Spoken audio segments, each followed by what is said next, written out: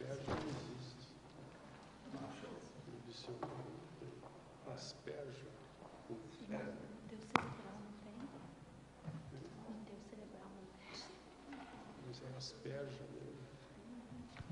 O que está escrito? Asperger.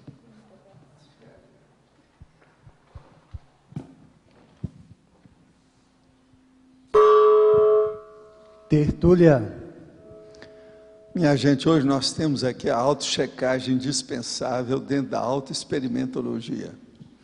A autochecagem indispensável é a postura evolutivamente mais inteligente aplicável a toda abordagem, pesquisa, técnica, análise, empreendimento, obra ou relação da consciência lúcida, a fim de acertar mais, errar menos e evitar omissões deficitárias. Vocês estão vendo então que a checagem é feita através de sete elementos que eu estou falando para eliminar três erros: a abordagem, pesquisa, técnica, análise, empreendimento, obra ou redação. Para evitar a, erro, é, o processo de buscar acertar mais e evitar as omissões, quer dizer, os enganos. Agora, as autorratificações entre as teorias e as vivências diuturnas, as autodemonstrações motivadoras, a autovivência em conformidade com os princípios evolutivos, o, cor, o cotejo nu e cru das ações pessoais com as ideias evolutivas, a compatibilidade da intenção com os atos, a própria compatibilização da verbação as magnitudes inexcluíveis, a melhoria da autocoerência, a conferência do conteúdo conscienciológico nas manifestações pessoais em geral. Nós falamos da caracterologia. Sete assuntos ou condições básicas a serem testadas e mostrando aí de acordo com a técnica desafiadora da autochecagem indispensável. Então nós falamos aí sete é, observações, sete vertentes ou vieses, abordagens. A postura da autochecagem indispensável em todas as iniciativas da pessoa evidencia o máximo entrosamento interassistencial entre a consciência assistida e a consciência amparadora. Você tem o bom hábito da autochecagem indispensável? Tal postura é aplicada em todas as tarefas e empreendimentos?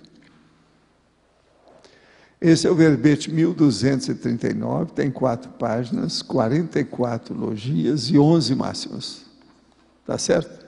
Ele tem um pouquinho mais de máximo esse aí. Agora aqui. Por que começo a bocejar quando faço EV? Olha, isso eu já falei aqui muitas vezes, é coisa muito óbvia e racional. Uma pessoa boceja porque o organismo dela está se desfazendo de alguma coisa ou ela está se retemperando, se requalificando, melhorando a condição. Mas na questão do EV mostra que a pessoa está fora de forma com as energias, tem algum bloqueio ou tem alguma coisa. Quando a pessoa vai fazer o EV e não boceja, mostra que ela está apta, está up to date, ela está em forma. Quando ela boceja, é porque está fora de forma. Isso aí é uma regra mais do que óbvia, é só a pessoa pensar. Então, quase sempre tem bloqueio. Agora, é lógico, a pessoa não vai fazer o estado vibracional na frente de outra que está bocejando, que aí vem um processo psicológico. Quando uma pessoa boceja, pode pegar todo mundo que está perto também bocejando. Isso aí é problema de imitação natural, instintiva é um processo quase que automático e problema vegetativo. Divulgou-se que após a dessoma de Chico Xavier, Emmanuel ressomaria no Brasil. Houve inconsistência na divulgação, tendo em vista a ressoma de Emmanuel na Itália? Olha, o problema é da turma aí. Eu tenho confiança nisso, que eu conversei com ele antes dele ressomar. Cada um faz o que pode. Eu, da minha parte, eu tenho confiança no que eu vi. Eu conheço bem a, a peça, o dito cujo. De que forma é possível superar a síndrome de Asperger?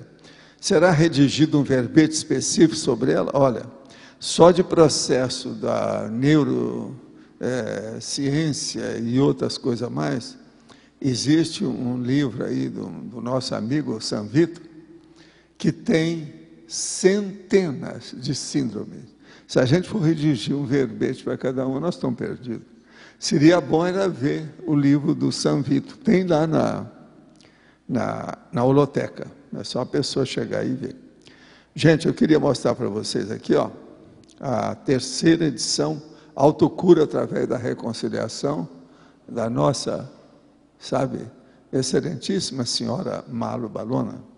E aqui está muito bom porque 2009 é o ano internacional da reconciliação, da Assembleia Geral da Organização das Nações Unidas, a ONU, a resolução A6117. Quer dizer, é, o negócio é sério. Aqui, ó, eu estou com a resolução, com as coisas todas aqui. Essa aqui é uma terceira edição revisada e ampliada. É um estudo prático sobre afetividade. Vale a pena vocês verem esse livro com a situação. E aqueles que já leram o livro, é bom até ver de novo, porque aqui tem até uma, uma apresentação com ampliação dos dados. Vale a pena ver o que é que se passa no assunto. A edição está bonita, cheia de vida, vale a pena. E está bem assim dentro, é muito pertinente, porque está bem de acordo com a situação. É editado pelo Editários, né? Você sabe, terceira edição. Agora, aqui nós temos o Jornal da Aracê, número 8 de maio de 2009. A experiência é atrativo turístico. É, está falando sobre o quinto encontro plano piloto Cognópolis Espírito Santo e oitavo encontro de profissionalização institucional. Agora, tem a turma que apareceu lá e os serenautas de abril de 2009, que entraram lá no serenário. Cursos concluídos no Rio de Janeiro e Uberaba. Autoconscientização organizacional e autoconscientização multidimensional. É preciso responsabilidade, lucidez e coerência em nossas ações. Estou falando aqui. Se alguém quiser ver o jornal, está aqui, tá certo? Outra coisa, nós temos aqui Qualifique-se e otimize seu voluntariado. Curso Voluntário Cobaia da, do Conscienciograma. Valorização dos trafores pessoais em prol da Max Proex. Despojamento para a interassistência. Dar e receber feedbacks. Equipe Teca de dois conscienciômetra docente e um especialista em voluntariado. Dia 24 e 26 de julho, mês que vem é uma de sexta a domingo, de 24 a 26. Agora, isso é da consciência, é o estudo da conscienciometria para quem quer mudar de patamar evolutivo. Vale a pena ver isso. O investimento é, é baixinho. Vale a pena, três dias. Agora, eu queria falar para vocês aqui, que às vezes o povo me pergunta, eu falo aqui às vezes sobre a dieta frutariana, Hoje eu quero falar numa subsidiária ou filial da dieta frutariana, que eu chamo de hidratação frutariana. Que é o seguinte: em vez da pessoa estar tomando água sem parar, ela pega dois caquis maduros e chupa os caquis. Outra coisa é o seguinte: qualquer coisa ela pega duas peras dessa bem madura, que isso aí hidrata e ao mesmo tempo ela recebe outros, sabe? Outros ingredientes que vale a pena para manter a saúde.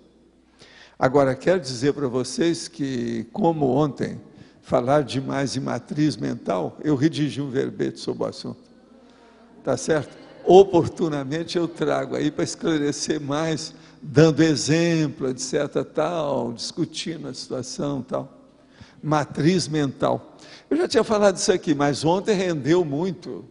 O povo parece que ficou encasquetado com isso, então eu resolvi, sentei, o verbete está pronto, só está faltando agora a etimologia, que eu estou esperando aqui a nossa turma para pegar. Outra coisa, eu quero falar com o Antônio, com a, a Dulce, é, Antônio, Dulce, Mabel e deixa eu ver se tem mais aqui. Ah, depois eu quero falar é com o Eduardo, mas eu acho que ele vem aí. Eduardo também. Agora, outra coisa que eu queria perguntar para vocês é o seguinte. Eu vi que aí no CAEC tem lá, naquelas uh, lixeiras, sabe, aquelas latas para lixo, Tem uma delas, está escrito assim: perigosos. Eu queria saber se lá nesses perigosos, quem é que pode me informar aí? Se, por exemplo, pilha entra nisso, bateria? Entra, tem certeza? Então, quer dizer, lâmpada quebrada, esse negócio todo. Então, entra pilha. A gente pode julgar as pilhas todas lá. É, a minha consciência pode ficar tranquila se fizer isso. Então, tá bom. Tá. Eu acho que eu vou arranjar mais desses negócios para colocar até perto da minha casa aí, que seria bom, né? Uma boa coisa. Agora já tem quatro, eu gostei muito daquilo ali. É um lixo bonito, né? Bacana, né? Assim, elegante. É. Agora, outra coisa também queria saber. Vocês conhecem esses aparelhos de ar-condicionado? Quais são aqueles que têm óleo e aqueles que não têm? Esses aqui têm óleo ou não têm? Óleo. É, tem uns que, dão, que usam óleo, etc. Não é isso? Eles são a óleo? Esse aquecedor também é? Esse aqui é? E aquele ali é também? Ah, sei. Agora, nas questões aí de ar-condicionado, não tem nada de óleo? É? Quer dizer que é só aquecedor. Não tá. Pelo seguinte, tem um monte de gente que está tendo alergia com o óleo desses aquecedores. Que nada. Pergunta para o Hernandes. Eu estou vendo isso há algum tempo, tem gente reclamando para mim. Mas agora então, é, é, agora, ó, esses ar-condicionados não tem nada a ver com óleo atualmente, não, né? São só esses aquecedores. Então tá. Agora, qualquer coisa vocês perguntam para o Hernandes, que ele vai dar uma geral em vocês aí sobre o assunto. Que o negócio existe mesmo, a situação é que tem sim. Agora, de modo geral, então vamos para a nossa auto-checagem indispensável. Você, na questão de detetive lá da Cross Jordan, você guardou os nomes que eu quero ver? Não tá. Ela é minha observadora, que ela chega aqui antes de mim. É, Skulka, que chama isso. Você sabe Skulka, o que, que é, não sabe? Aquilo que vai na frente. Você vem de motocicleta na frente para a, a, o negócio, a caravana passar. É, qual é a autochecagem indispensável antes de aplicar um arco voltaico em alguém? É você estar preparado para isso. Por exemplo, exterioriza energia. Você está falando, você transmitiu o arco voltaico. Então, a primeira coisa é isso, é você ver se você está em, em forma. Se você for fazer começar a bocejar, mostra que você não está em forma. É preciso preparar mais. Da próxima vez, tem que evitar isso. Entendeu? Agora, é a questão. Eu, por exemplo, vocês já notaram como é que eu começo? Como se já tivesse o tempo todo preparado, qualquer hora. Mas esse é o processo de energia. Eu me acostumei assim depois de muitos anos. Está entendendo? Ó, estou aqui. Então eu faço isso. Estou aqui, eu faço assim. Ó. Você recebe alguma coisa? Você percebeu? Como é que é isso? Isso é qualquer hora. Eu não permito que eu tenha período down sabe? Baixo. Eu estou sempre preparado, mesmo se eu tiver febre.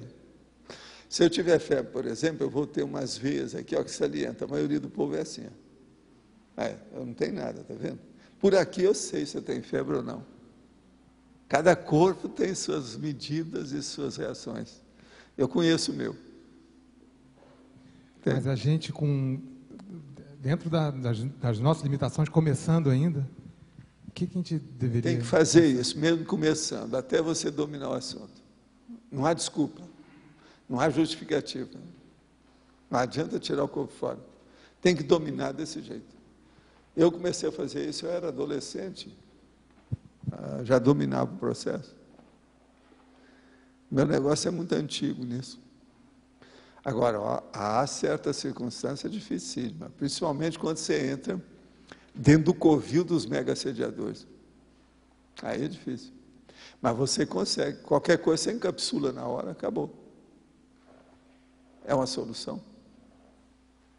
Agora, ó, insista que você vai conseguir. Agora, ó, eu insisto com isso, estou assim veemente dentro desse ponto de vista, pelo seguinte: Se você não fizer isso, você vai demorar mais. Você está julgando a toalha. Você vai estar saindo derrotado do assunto. Isso não pode, é uma coisa muito mais fácil que a gente pensa. Não pode. Está claro? Pode falar. O que, que você quer? Sim. O omniarrivismo ideal. É esse que você quer? É esse que você quer? É, Vem cá, adivinhei? Adivinhei? É. Adivinha- Eu vou começar a cobrar do Arlindo. vai falar assim, Bidu adivinhão, né? Tipo, Omniarrivismo. Você sabe, o revista é aquela pessoa da- do situacionismo. Ele está sempre querendo ficar por, por cima. Ele nunca perde nada. Então, ele a- arranja tudo que seja pertinente do momento. É o oportunista. Entende? Aqui- Agora, o homem, a revista ideal, É é aquele que sabe fazer a checagem a- adequada. Então, aqui fala triunfo a qualquer preço, né? O, o É. Mas, É. a- inclusive, dá uma As coisa- magnitudes inexcluíveis. Olha na frente.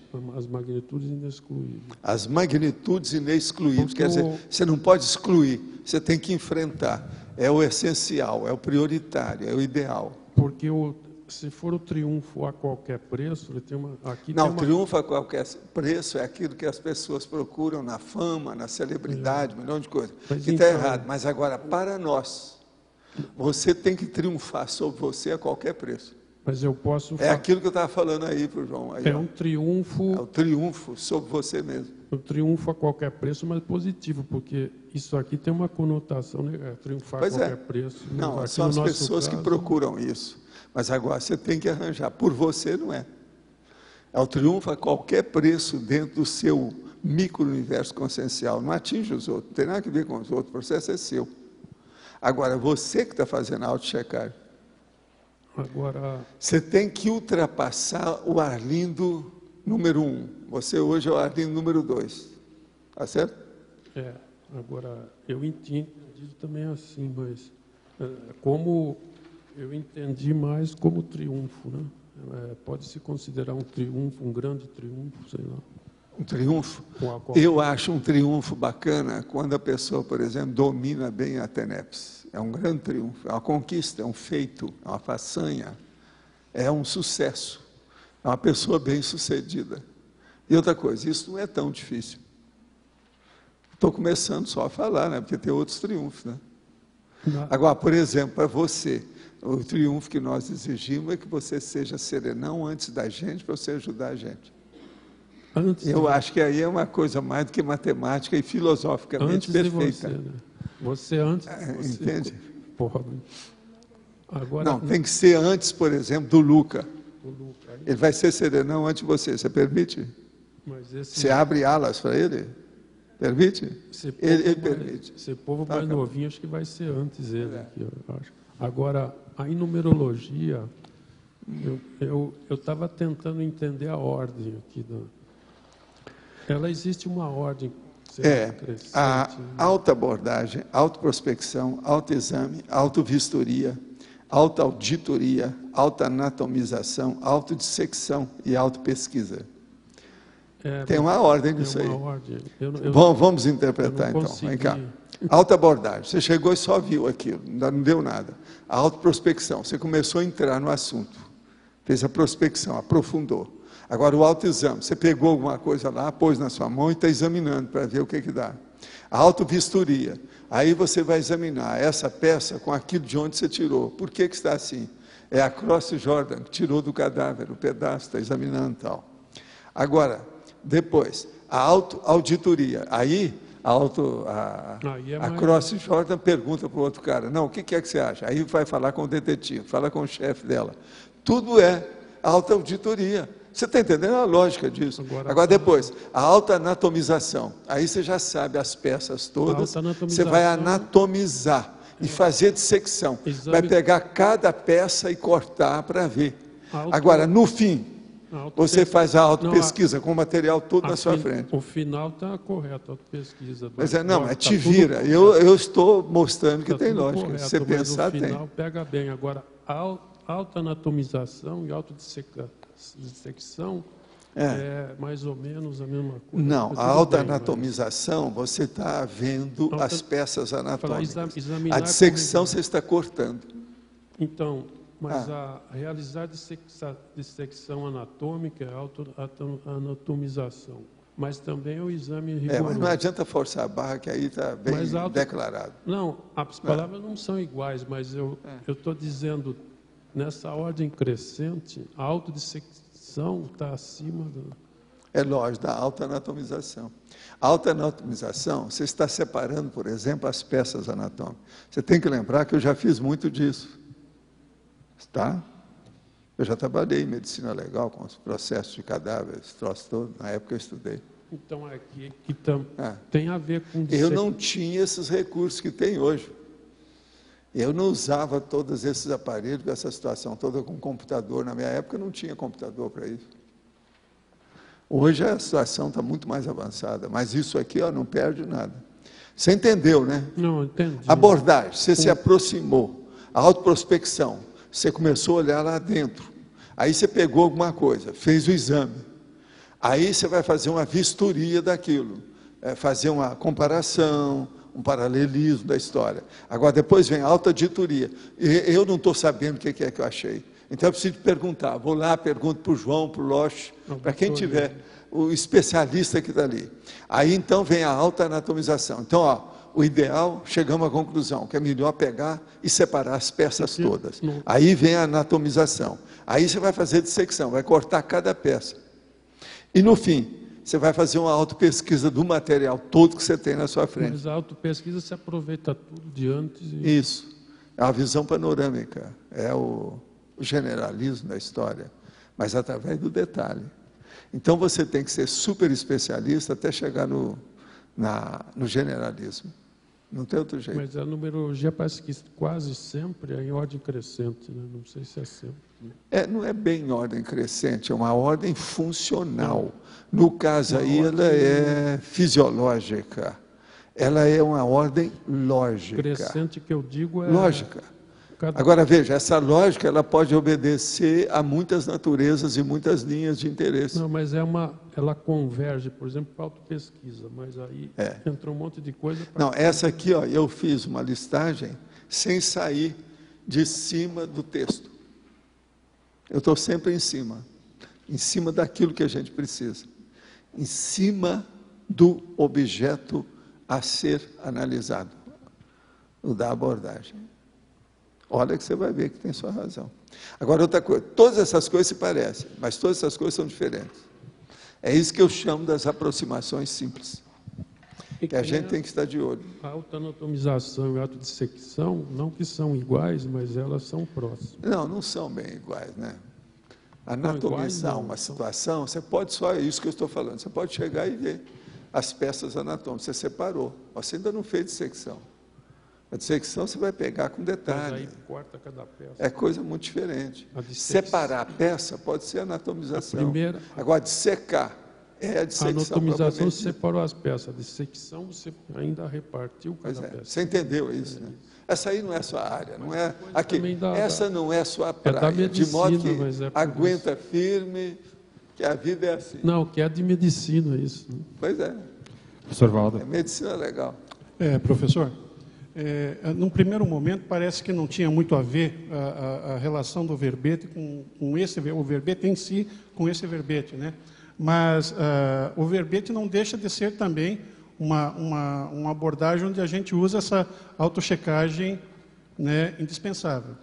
Não, tá? a autochecagem dispensável, indispensável, ela é para tudo. Sim. Você veja bem, ó, a especialidade é a autoexperimentologia. Então. Começa por você. Pois é. E, e Toda daí, pesquisa nesse... começa pelo pesquisador. Tá, mas daí, no caso do Mesmo verbete... quando ele é inconsciente disso. Certo. Mas nesse caso, o verbete, para mim entender o verbete um pouco melhor, ele, ele, ele é abordado deliberadamente dentro de uma perspectiva poliédrica, né? multifacetada. É, sempre, ju, porque nós justa... estamos aqui. É. A ciência que nós estudamos é a conscienciologia. Hum. A conscienciologia estuda a consciência poliédrica. Ou a consciência poliédrica. Neste caso, né, no, no, caso dessa, dessa abordagem, é justamente para facilitar né, as mais diversas personalidades, as mais diversas consciências Não, né, nessa sempre abordagem. serve para tudo. Mas agora tem uma técnica lógica e racional que funciona, que dá eficácia para aquilo que você quer. O problema é nós alcançarmos eficácia naquilo que nós investigamos. E é isso que a gente procura colocar em cada detalhe aqui. Entende? Eficácia. Perfeito. O que, que adianta você perder muito tempo, muita energia, muita atividade, até muito dinheiro às vezes, se não é eficácia naquilo que você faz? Vai ser difícil alcançar seus objetivos desse jeito. Fazer a coisa de qualquer maneira, renquen, rastaquera, superficial. Isso não dá. Tem que ser uma coisa, ou é ou não é. Eu chamo que é uma pesquisa testosterônica. Entendeu? Tem que ter testosterona, tem que ter responsabilidade. A pessoa tem que saber o que está fazendo. Ela tem que é, entender que aquilo é sério. Ela não está brincando. Não é lazer e nem ócio. Não é brincadeira e nem nada. Ou ela leva a coisa a sério ou desiste disso. Quando as pessoas começam a fazer e começam a rir demais do processo que ela está fazendo, é porque ela está tirando o corpo fora. Essa pessoa geralmente não dá certo em matéria de experimentação. A experimentação, a investigação, a pesquisa propriamente dita, que é o processo da analiticologia, que é o problema da análise. A pessoa tem que levar isso a sério, senão ela não chega a conclusões lógicas. Não tem jeito. Professor, aqui em cima. Estou com uma dúvida na definologia, se o professor puder esclarecer melhor. Aonde? Na definologia. Definologia. Eu não estou entendendo nada que eu estou tá falando aqui. É? Defi- Definologia. Ah, Isso. sei, definologia. É, a O definição. que, que você quer? A autochecagem indispensável é a postura evolutivamente mais inteligente aplicável a toda abordagem, pesquisa, técnica, análise, empreendimento, obra ou redação da consciência lúcida, a fim de acertar mais, errar menos e evitar omissões deficitárias. O que, que você quer? A minha dúvida é a seguinte: na... substituindo, por exemplo, só um exercício para entender minha dúvida, substituindo a autochecagem indispensável, por exemplo, por cosmoética, a gente vê que teria coerência também, se colocasse assim. Tem, mas nós estamos trabalhando com a conscienciologia. Não, lógico. E outra coisa, esse verbete é homeostático, ele tem que ser cosmoético. É. E assim como a cosmoética, muitas outras questões, Não, assistencialidade, onde tem homeostasia, homeostase. Esse aqui é homeostático. É. Mas então, a dúvida é a seguinte, professor. Na definição, a definição ela deveria diferenciar aquele item que a gente está trabalhando de todos os outros itens, por exemplo, da enciclopédia. Não, Não, é- é- não é bem diferenciar. A definição tem que mostrar a que veio, qual a intenção que ela tem, mas não interessa o resto. Você não fica preocupado com os outros, não. Você tem que fazer aquilo que você está fazendo e mostrar aquilo que você tem e defender o seu ponto de vista. O posicionamento é que tem que ser lógico e racional. Agora, não interessa os outros posicionamentos, bora, banana para eles, mesmo que sejam seus, mesmo que sejam certos, não interessa. Interessa é o que você está fazendo. É isso que nós chamamos da fixação no objetivo. Se a pessoa saiu da linha principal da pista, ela vai para o acostamento. Aí fica incoerente. Ela já está falando é, tudo no escuro. Acabou a coisa com coisa. Ficou a coisa com a coisearia, piorou tudo. Não dá certo. Então o problema é manter a lógica da coerência, mesmo quando você faça uma bissetriz dentro do seu campo eh, de serviço, de atividade, de pesquisa. Entendeu? Você tem que ter a coerência daquilo que faz. Então, por exemplo, essa definição aqui, o verbete todo se circunscreve ao universo dessa definição. Observa que é isso. Agora, não interessa. Eu posso escrever até um outro verbete sobre checagem, diferente, outro aspecto. Não é indispensável. Uma checagem, por exemplo, filosófica. Vou analisar, por exemplo, Arlindo como filósofo. Entende? Vai ser. Aí ele falou que já é dispensável.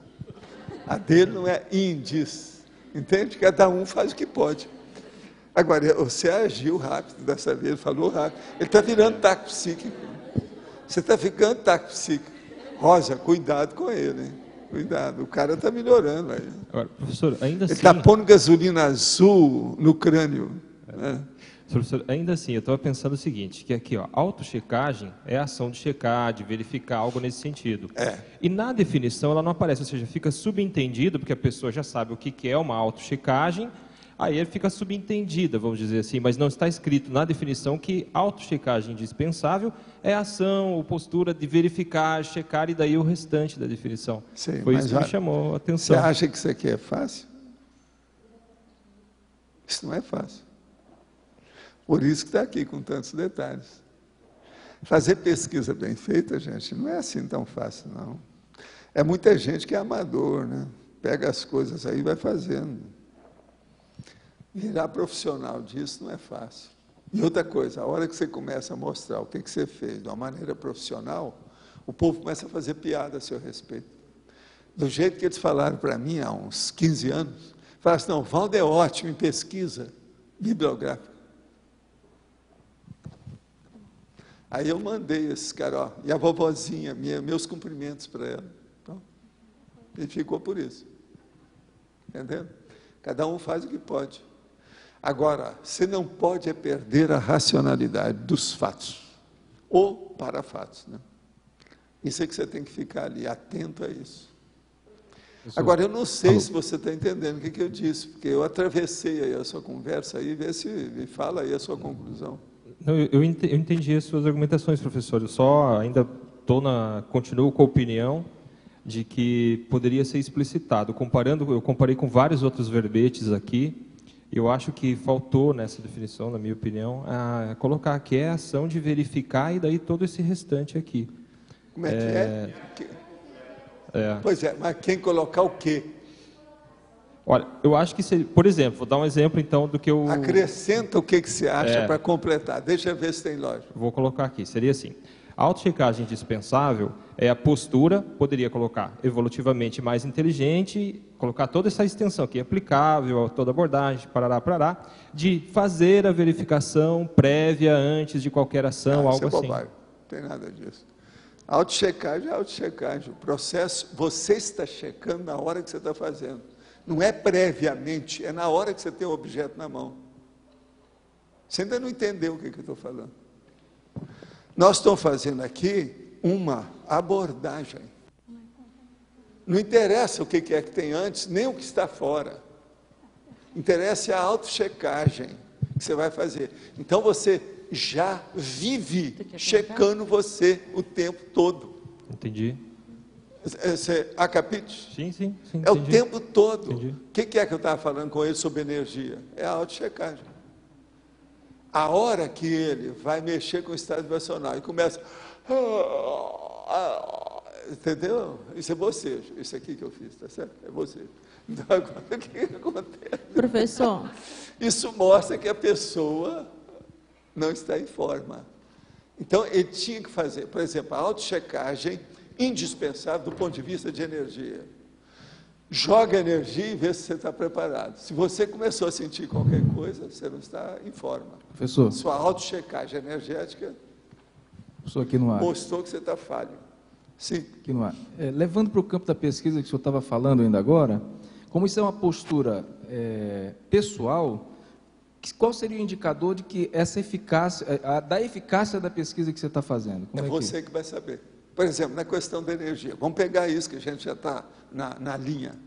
Se você se sentiu bem com o processo e os resultados daquela energia foram positivos, mostra que a sua checagem está correta e você está, pode confiar em você, confiar no seu pulso, naquilo que você está fazendo.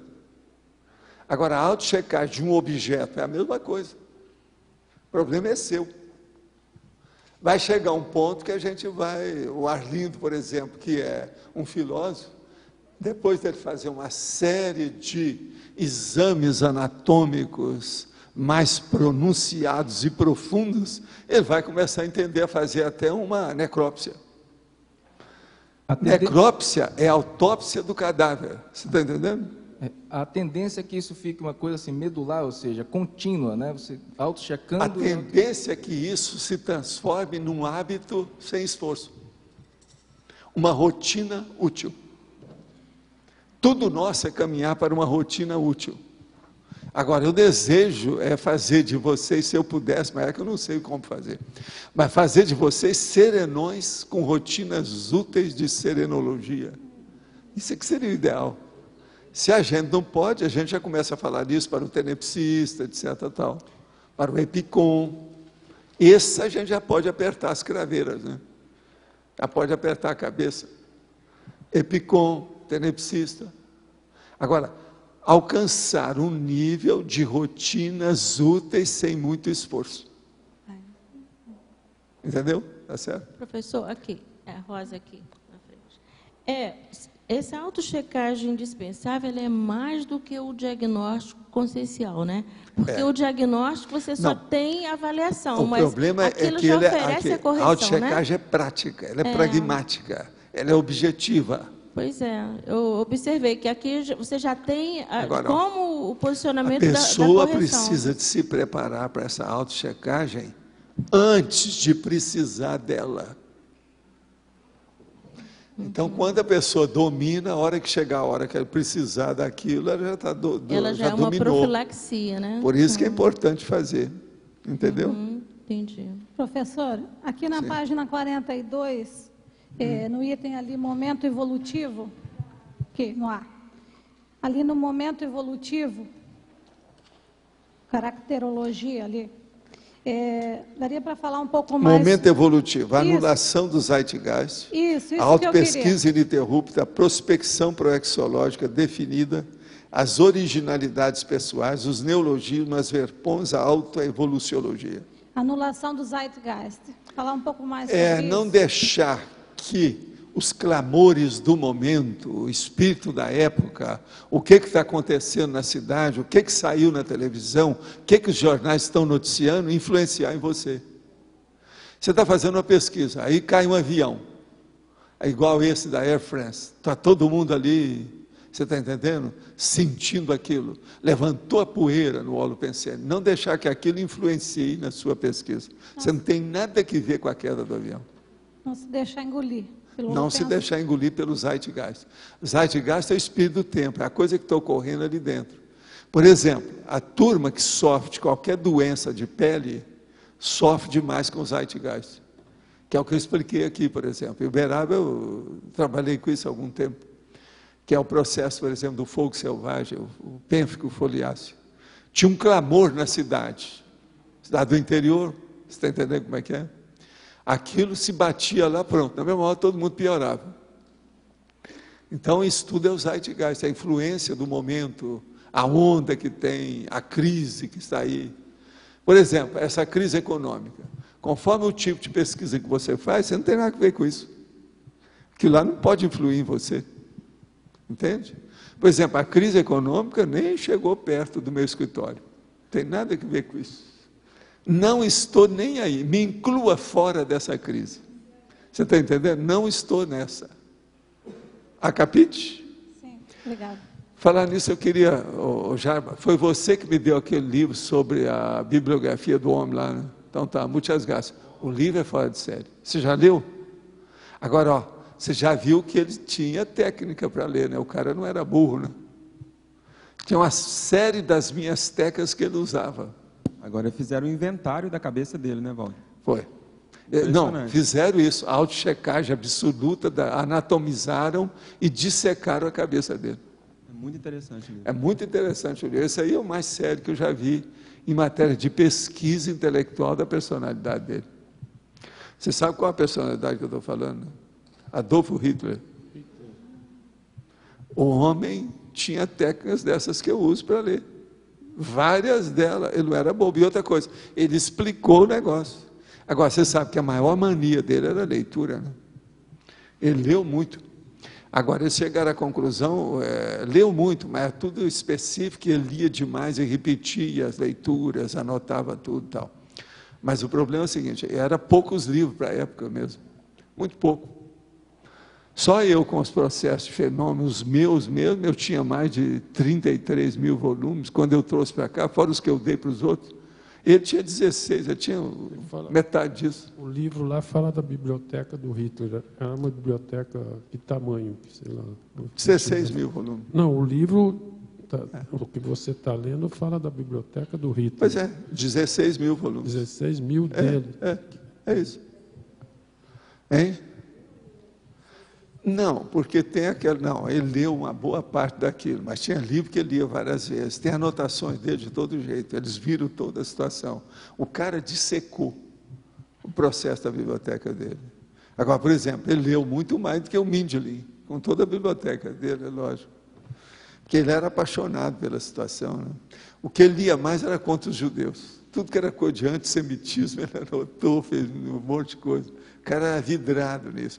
E outra coisa, era um monte de autores antissemitas, você sabe, naquela época isso era Na normal. Europa, pra- praticamente de toda a Europa, os países eram antissemitas também. Pois é, O a povo, maioria, tudo, os né? países todos, inclusive a sua queridíssima Itália. Lá se vê aquele filme lá, a- a- aquele filme lá sobre Agora, eu acho que os judeus deviam de fazer umas concessões de vez é em quando e abrir o jogo. Mas eles não abrem. O segredo é a alma do negócio, é por isso que eles ficam antipáticos. A- Muita gente fica antipatizado com eles. Eu, eu já falei isso a vários meus amigos judeus. A Vida é Bela mostra que o Mussolini entregava os judeus Agora, italianos eles não têm jeito de melhorar isso. Eles estão no mato sem cachorro e dentro de um ciclo vicioso.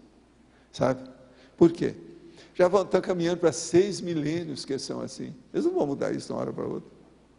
Agora, Eu você- acho muito difícil. Você sabe que no stalinismo houve é, é, co- é, ju- antijudaísmo, porque também é, o Trotsky era judeu e foi expurgado Agora, também o, o que é era judeu. bacana é que agora está aparecendo grandes personalidades jude- judias que são pretos, né?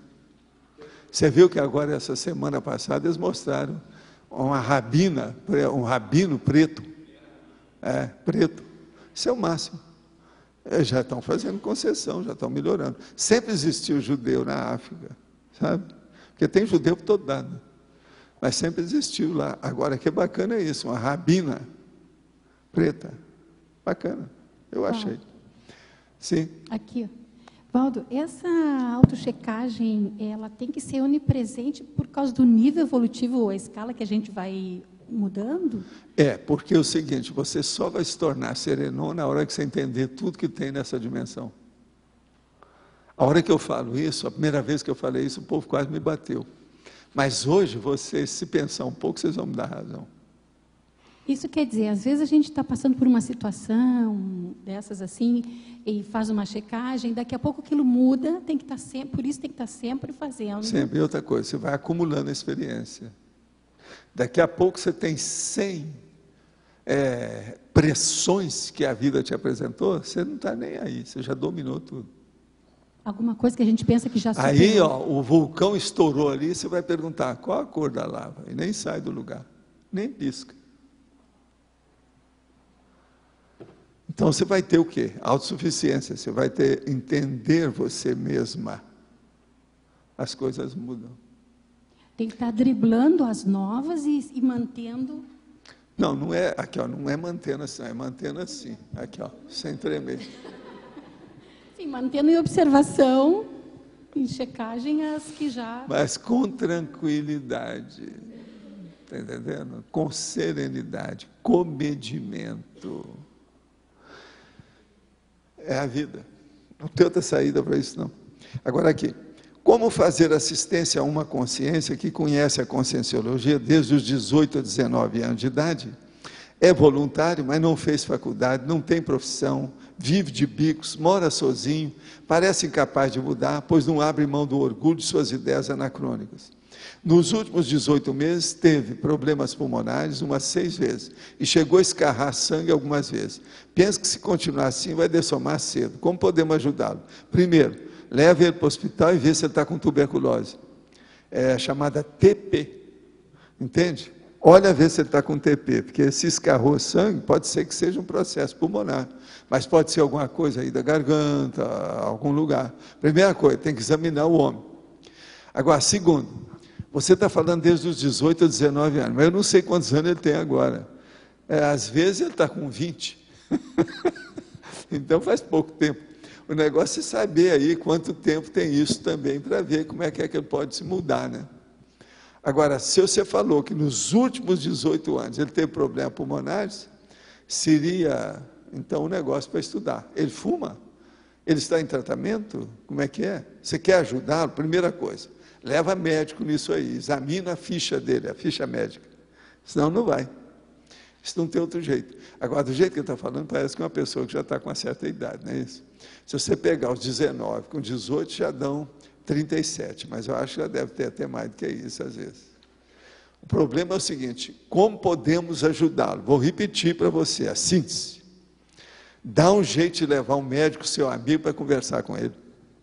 Sem ele nem saber, apresenta ele como médico. Ó, oh, quero apresentar aqui o doutor Alfredo, tal, quer ajudar você. É uma saída.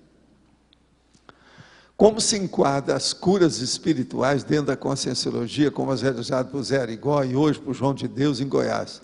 Qual o nível dos amparadores associados a essas pessoas e a sua posição como médico? O problema todo é o seguinte: pega meu livro Projeciologia e vai ler lá a paracirurgia e os paracirurgiões, que lá tem capítulo inteiro sobre o assunto. Vai te explicar tudo como é que é. Eu já trabalhei com essa turma toda, conheci o Arigó de perto e tal. Então é bom dar uma olhada dela. Projeciologia para cirurgião e para cirurgia. Examina que lá eu estou falando disso.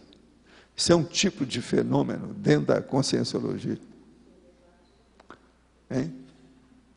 Ah, o, você está falando quem? Ah, Eduardo. Ah, sei. Depois eu vou conversar com ele, que eu estou com material aqui para mostrar.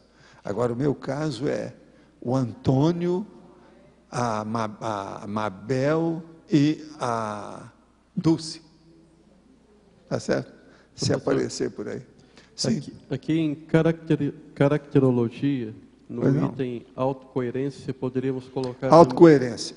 Poderia colocar a intencionalidade, também... a retilinearidade a autopensênica, a harmonia holopensênica, a cosvisão e a autocoerenciologia. Podia acrescentar o, é, o exemplarismo pessoal? Não, o exemplarismo está em todas, né? Mas no, a autocoerência é, não quer dizer nada com, assim diretamente com o exemplarismo, não. A autocoerência aqui é da própria pessoa. Entendeu? Então, mas... Pode servir para você, mas não é o caso aqui. Entende? Hum. Agora, exemplarismo. Exemplarismo é a pessoa fazer auto-checagem indispensável daquilo que é o mais importante para ela na vida dela. Isso é que é importante. Isso é que seria um bom é, exemplo de exemplarismo. Entende? Vale a pena pensar.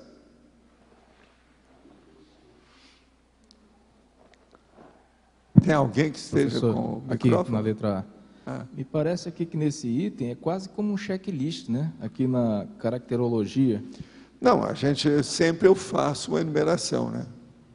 Sete assuntos ou condições básicas a serem testadas em toda atividade da consciência, homem ou mulher, de acordo com a técnica desafiadora da auto-checagem dispensável.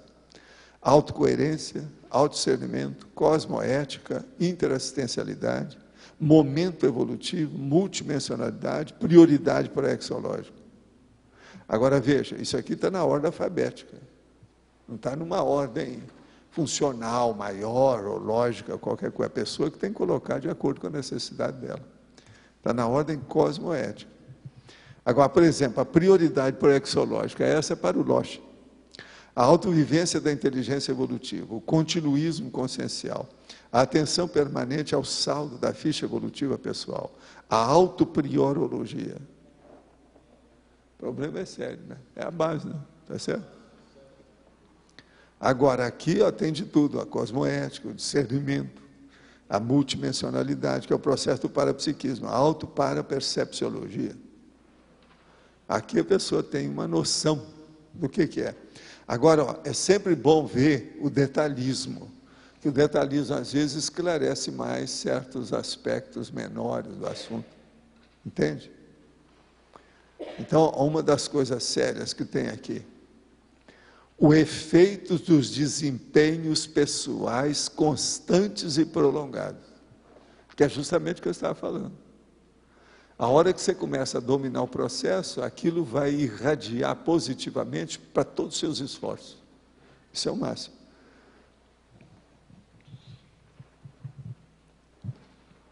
Agora, o antagonismo, exatidão e erro que é a base também do processo da investigação. Tudo tem que ser uma, ter, uma certa exatidão dentro daquele momento evolutivo.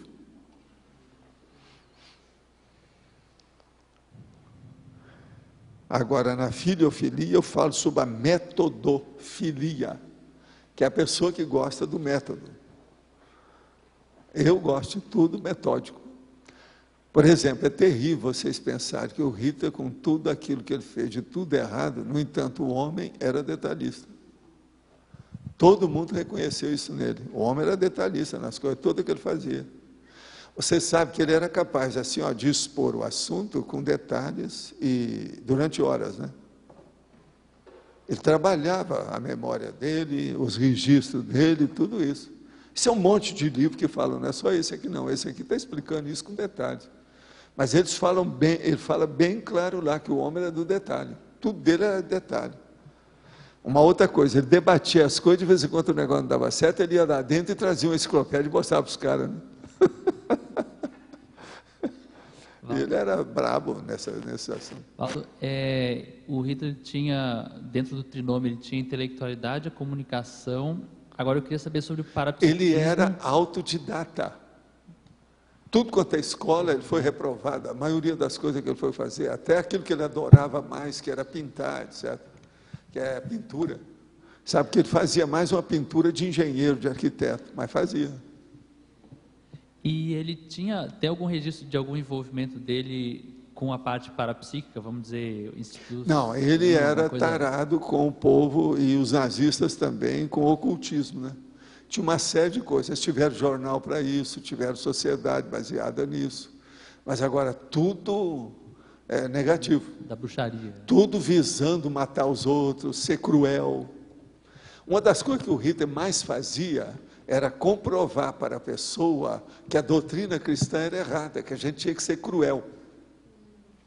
Isso é uma coisa terrível você pensar nisso. Então veja, ele era totalmente mega sediador intrafísico. A personalidade dele, desde que apareceu, tudo dele. Mas agora veja, ele estudava isso tudo para fazer o mal. É terrível você pensar uma coisa dessa. O cara leu esses livros todos, mais do que a média toda daquele povo lá na ocasião.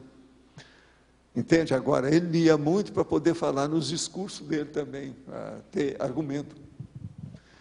Entende? Ele fazia muita questão disso. E era detalhista nessa história. Agora, é terrível você mostrar o Hitler como modelo em certas coisas da baratrosfera. E o cara com essa intelectualidade toda de autodidata. Porque ele era um boboca, ele não tinha. Qual foi o maior erro do Hitler? Você que andou lendo as coisas dele lá. Qual o maior erro dele? Ele não tinha prioridade. É, não, mas ele não tinha prioridade, ele não priorizou nada. Ele não viu o essencial. Ele se apaixonou por uma coisa de animal e ficou com aquilo. Olha o que, que deu. Por isso que a pessoa tem que pensar muito, estudar muito, para ficar com o prioritário. Sem isso não vai. Olha, chegou a Mabel. Você passa lá para cima para mim, por favor. Professor. Obrigado, Mabel. Professor. Professor. É, por favor, eu já sei, assim, nós sabemos que é, já é complexo a questão da gente estar trabalhando isso diariamente no nosso cotidiano. A gente está fazendo esse esforço. Mas existe critérios que a gente pode é, ter para entender a projeção, mesmo que ainda ela não seja tão consciente, para essa autochecagem? Sim. O problema todo é você fazer o afastamento de tudo que seja onírico dentro da área do onirismo e ver o que, que é um estado alterado da consciência puro, normal, homeostático, sadio. Isso é que você tem que ver. Uma outra coisa séria: quanto mais avançado seja o fenômeno para fenômeno para fato, mais lógico ele é. Porque você vai ver a lógica dele. Ele já é naturalmente lógico, mas você não vê. Agora, a hora que você vai expandindo o seu conhecimento de para-percepção, você vai ver na lógica de tudo. Então, veja, não pode faltar a lógica. Agora, para examinar os parafatos e parafenômenos, você tem que examinar primeiro os, os fatos e os fenômenos. Para você excluir o que, que seja material ou dessa dimensão, ou que seja uma coisa superficial, que não corresponde àquela realidade. Agora, com o tempo, você vai saber tirar tudo isso bonitinho. Entendeu? Escuta uma coisa. Você é, está diferente porque você tirou a barba, o cabelo ou qualquer coisa, foi isso? Ah, então tá. Eu custei a ver que era ele, porque está sem nada, o rosto está limpo. Agora veja, ó, quando a pessoa tira a barba, como é que ela remostra? Ele ganhou uns 10 anos, uma década de vida. Quer dizer que você vai viver, está vivendo mais 10 anos. Não é isso? Val, Sim. no caso lá. Hum.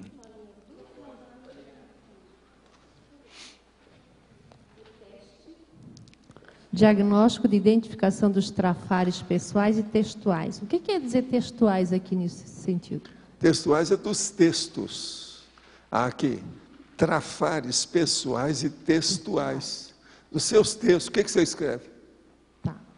Porque o pessoal seu aparece ali. Tá. E pode-se dizer Agora, que... o textual que diz isso é aquilo que você estuda, o material que você tem, entendeu? É isso que quis dizer. E dentro desses E que diz respeito aos assuntos seus. O texto diz respeito ao assunto, ao tema. Tá. E dentro desses trafais pessoais, pode-se afirmar que atrás de todo trafar tem uma emoção? Não, nem sempre.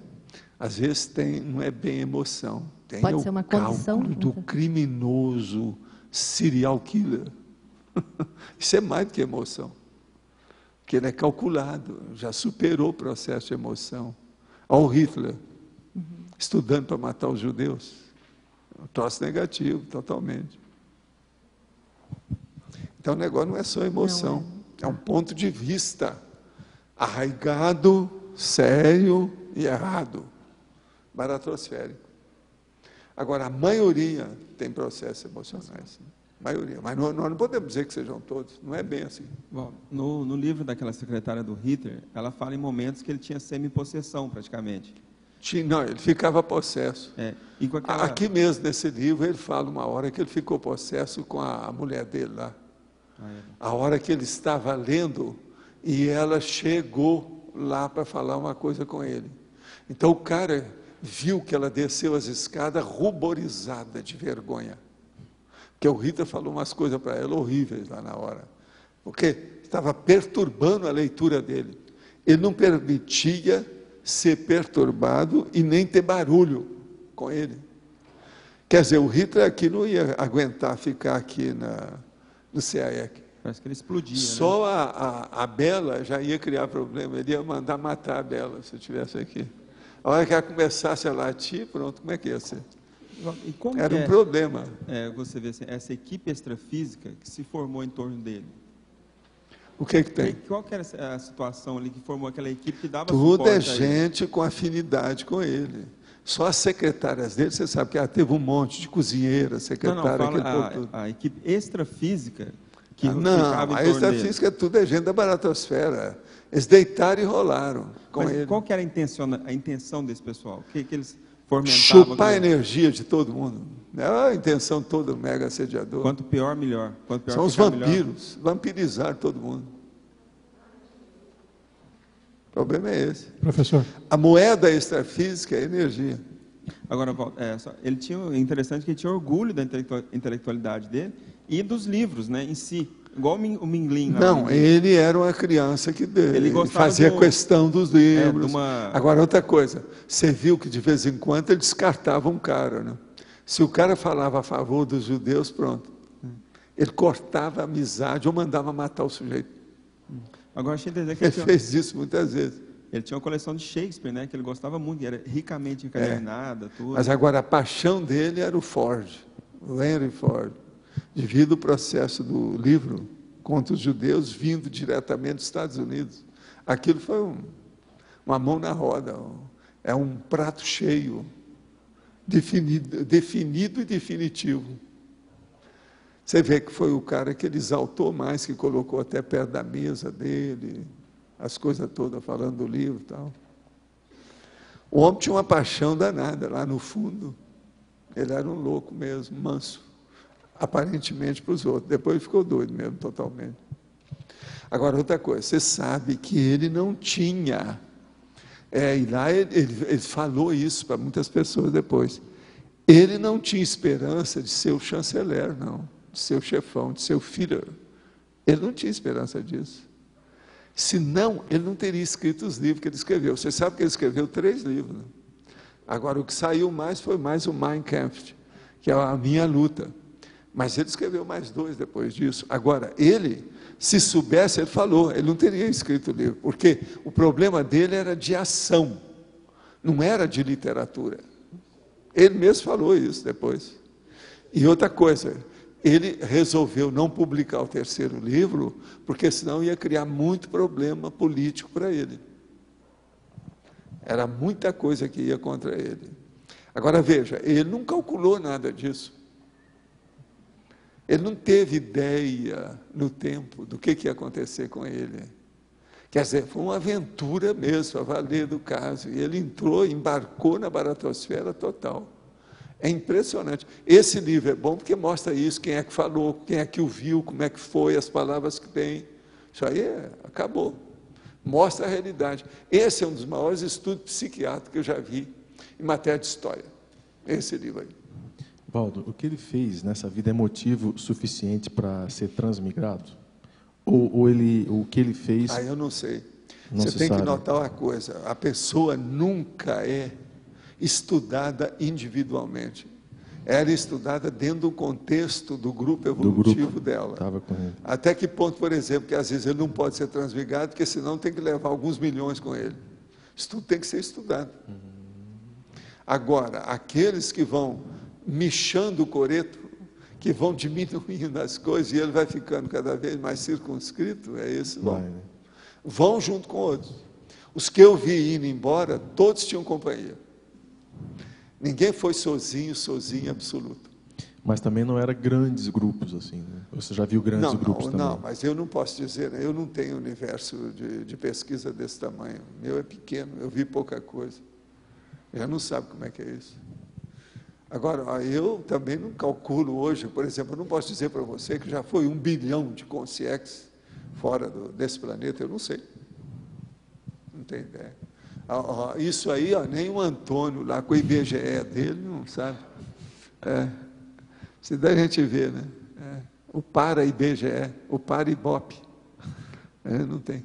Mas, Malo, o que, Valdo, que você quer? No contexto parapsíquico, é, essa inserção das profecias do Nostradamus lá através da mulher, acho que foi do Goebbels, e eles entraram nessa onda. Que que, como eles fizeram para distorcer tudo que estava ali a favor? porque eles usaram na propaganda deles as profecias como se fossem. Não, mas todo mundo favor. usa a, a, as, as centúrias do nosso as, as centúrias, mas para usar à vontade. Né, Valdo? Mas eles fazem isso com tudo quanto é autor, né?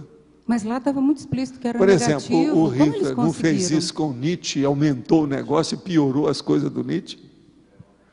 Porque tinha um triunvirato vocês sabem que tinha, tinha um triunvirato no, na questão do, do, Nietzsche. O cara fala isso aqui, ó. por isso que eu acho que ele estudou bem, porque ele falou no triunvirato. Se não tivesse falado, estava errado. O triunvirato era o nosso amigo aqui, que eu vivo acabando com ele, seu amigo, é Schopenhauer, é o, o, o Fichte, que é o, aquele Fürth, né? Fürth, e o Nietzsche. Era o triunvirato do Hitler. São esses três que ele pegou para ajudá-lo dentro do processo do nazismo. Quem? Não, não, esse aí é boboca. É, muito embora tenha tido muito mais, é, vamos dizer, divulgação, etc. Tal, mas os três são esses. É o, Schopenhauer, o Fichte e o Nietzsche. São os três. Esse é que são é os triunviratos. Agora, o que é engraçado é que eu já tinha explicado sobre o problema já há alguns anos, sobre o triunvirato da, da Grécia. Você já viu falar isso? Não? Eu acho que você já ouviu. O triunvirato da Grécia era Sócrates, Platão e Aristóteles. que esse é o triunvirato filosófico. Mas esse é o da Grécia. Agora, o Hitler fez o triunvirato filosófico para criar o nazismo, através dessas três personalidades. Agora, por exemplo, o Heidegger não entra nisso. Ele era nazista demais. Aqui ele era, ele era prócer. Aqui, ele era prócer do Partido Nazista. Em 33 ele entrou lá e assinou no partido. Valdo, só um minuto. É, mas nas profecias de Nostradamus, nas centúrias, são das poucas é, quadras que são assim muito específicas e muito negativas em relação ao Richter, a figura dele lá, o nome que ele tem. É. Então, como é que eles conseguiram distorcer isso? É porque o povo não conhecia os, os dados das, das, das quadras? É. Agora, veja, tem muita gente que tentou acertar as coisas com Nietzsche, inclusive uma namorada dele, que era aquela Leni Riefenstahl. Você sabe que foi namorada dele. Agora, o que, que se passa? Eles chegaram a brigar, o Hitler ofereceu para ela uma opção de coisa, ela não quis porque ela não gostava do Goebbels. Tem esse negócio todo. O cara está explicando isso tudo do livro aí. Esse sujeito estudou mesmo. Não é fácil. Esse Ryback, eu não sei quem é, mas esse é a maior cabeça que eu já vi sobre o processo de nazismo.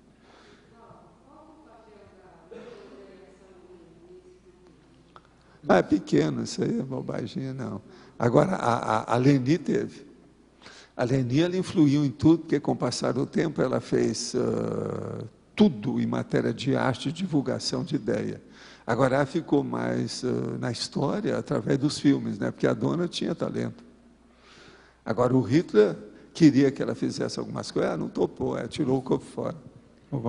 Ela era muito inteligente, essa mulher. O, o, Nietzsche, ele preveu isso, né, nos escritos dele. Como é que é? O Nietzsche, ele preveu, previu que seria um dia o nome dele seria usado no, em algo como foi realmente usado na Segunda Guerra Mundial. Ele fala isso nos não, textos mas dele, todo né? mundo é usado, todo mundo sabe não, não, disso. Mas fala assim, e... Olha, eu já vi gente que já usou Sócrates pró e contra. Já usou Platão pró e contra. Aristóteles pró e contra. Getúlio Vargas, pró e contra. Juscelino Kubitschek, pró e contra. E tudo isso eu já vi. Assim, a vida é assim, não ele, tem jeito. Nietzsche sabia que isso poderia acontecer com as ideias dele. Sim. E ele, como que fica ele no extrafísico? Ele estava no período da guerra que realmente aconteceu o que ele viu que ia acontecer. As, as ideias dele sendo distorcidas, Sim, não, né? Mas veja, não tem novidade nenhuma, né? Bobo dele, se não tivesse visto todas as ideias de qualquer um autor, elas são distorcidas. Qual é o problema? Isso faz parte da, da vida. Não há porque... Agora, quando há essa distorção, acaba vindo a furo. O povo fica sabendo, é bobagem. A realidade de uma pessoa é uma única. Mas piorou o processo extrafísico de Nietzsche? Não, todos esses estão tudo enrolados, que é isso? Porque Nietzsche já morreu louco, né? É, não, mas ele já era, né? Antes. É, antes. Ele já era. Ele foi, foi do jeito que ele era. Ninguém mudou. Agora, pois é, tem um monte desses. Nietzsche era bem piradão. Professor Valdo. Sim. É, por gentileza. É, no caso do, do Hitler, uma, uma, personalidade assim não se cria numa vida só, né? Isso aí é uma coisa que já vem de, de anteriormente. Nenhuma né? personalidade é criada numa vida pois só. então. É... Nós somos o fruto de milhares de vidas. Certo.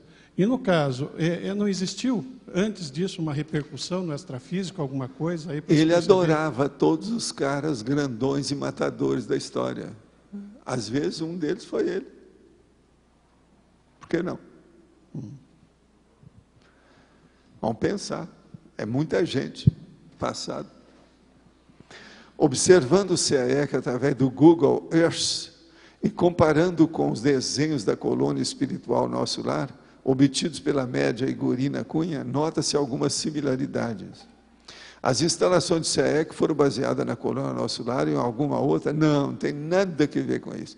Se afirmativa em qual? Existe alguma colônia extrafísica sobre CAEC? Sim, existe. Não é sobre, mas é perto. Chama interlúdio.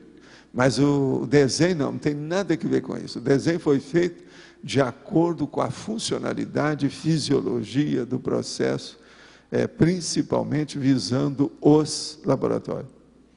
Estou na página 520 do livro Projeciologia e fazendo uma checagem do que já foi lido. Eu observei que o senhor cita vários segmentos religiosos e filosóficos, porém, salvo engano, não houve citações sobre a maçonaria. Isso é uma invitação proposital ou ela se encaixa em alguma das citações que para mim não foi clara? Eu já escrevi muito sobre maçonaria, não vem com essa não. Primeira coisa que eu já escrevi é dizendo que a maçonaria se abriu. Ela não é mais do jeito que era. Agora, o que eu falo mais é o seguinte: eu sou mestre maçom, eu tenho kit place. Entendo tudo sobre o processo de maçonaria.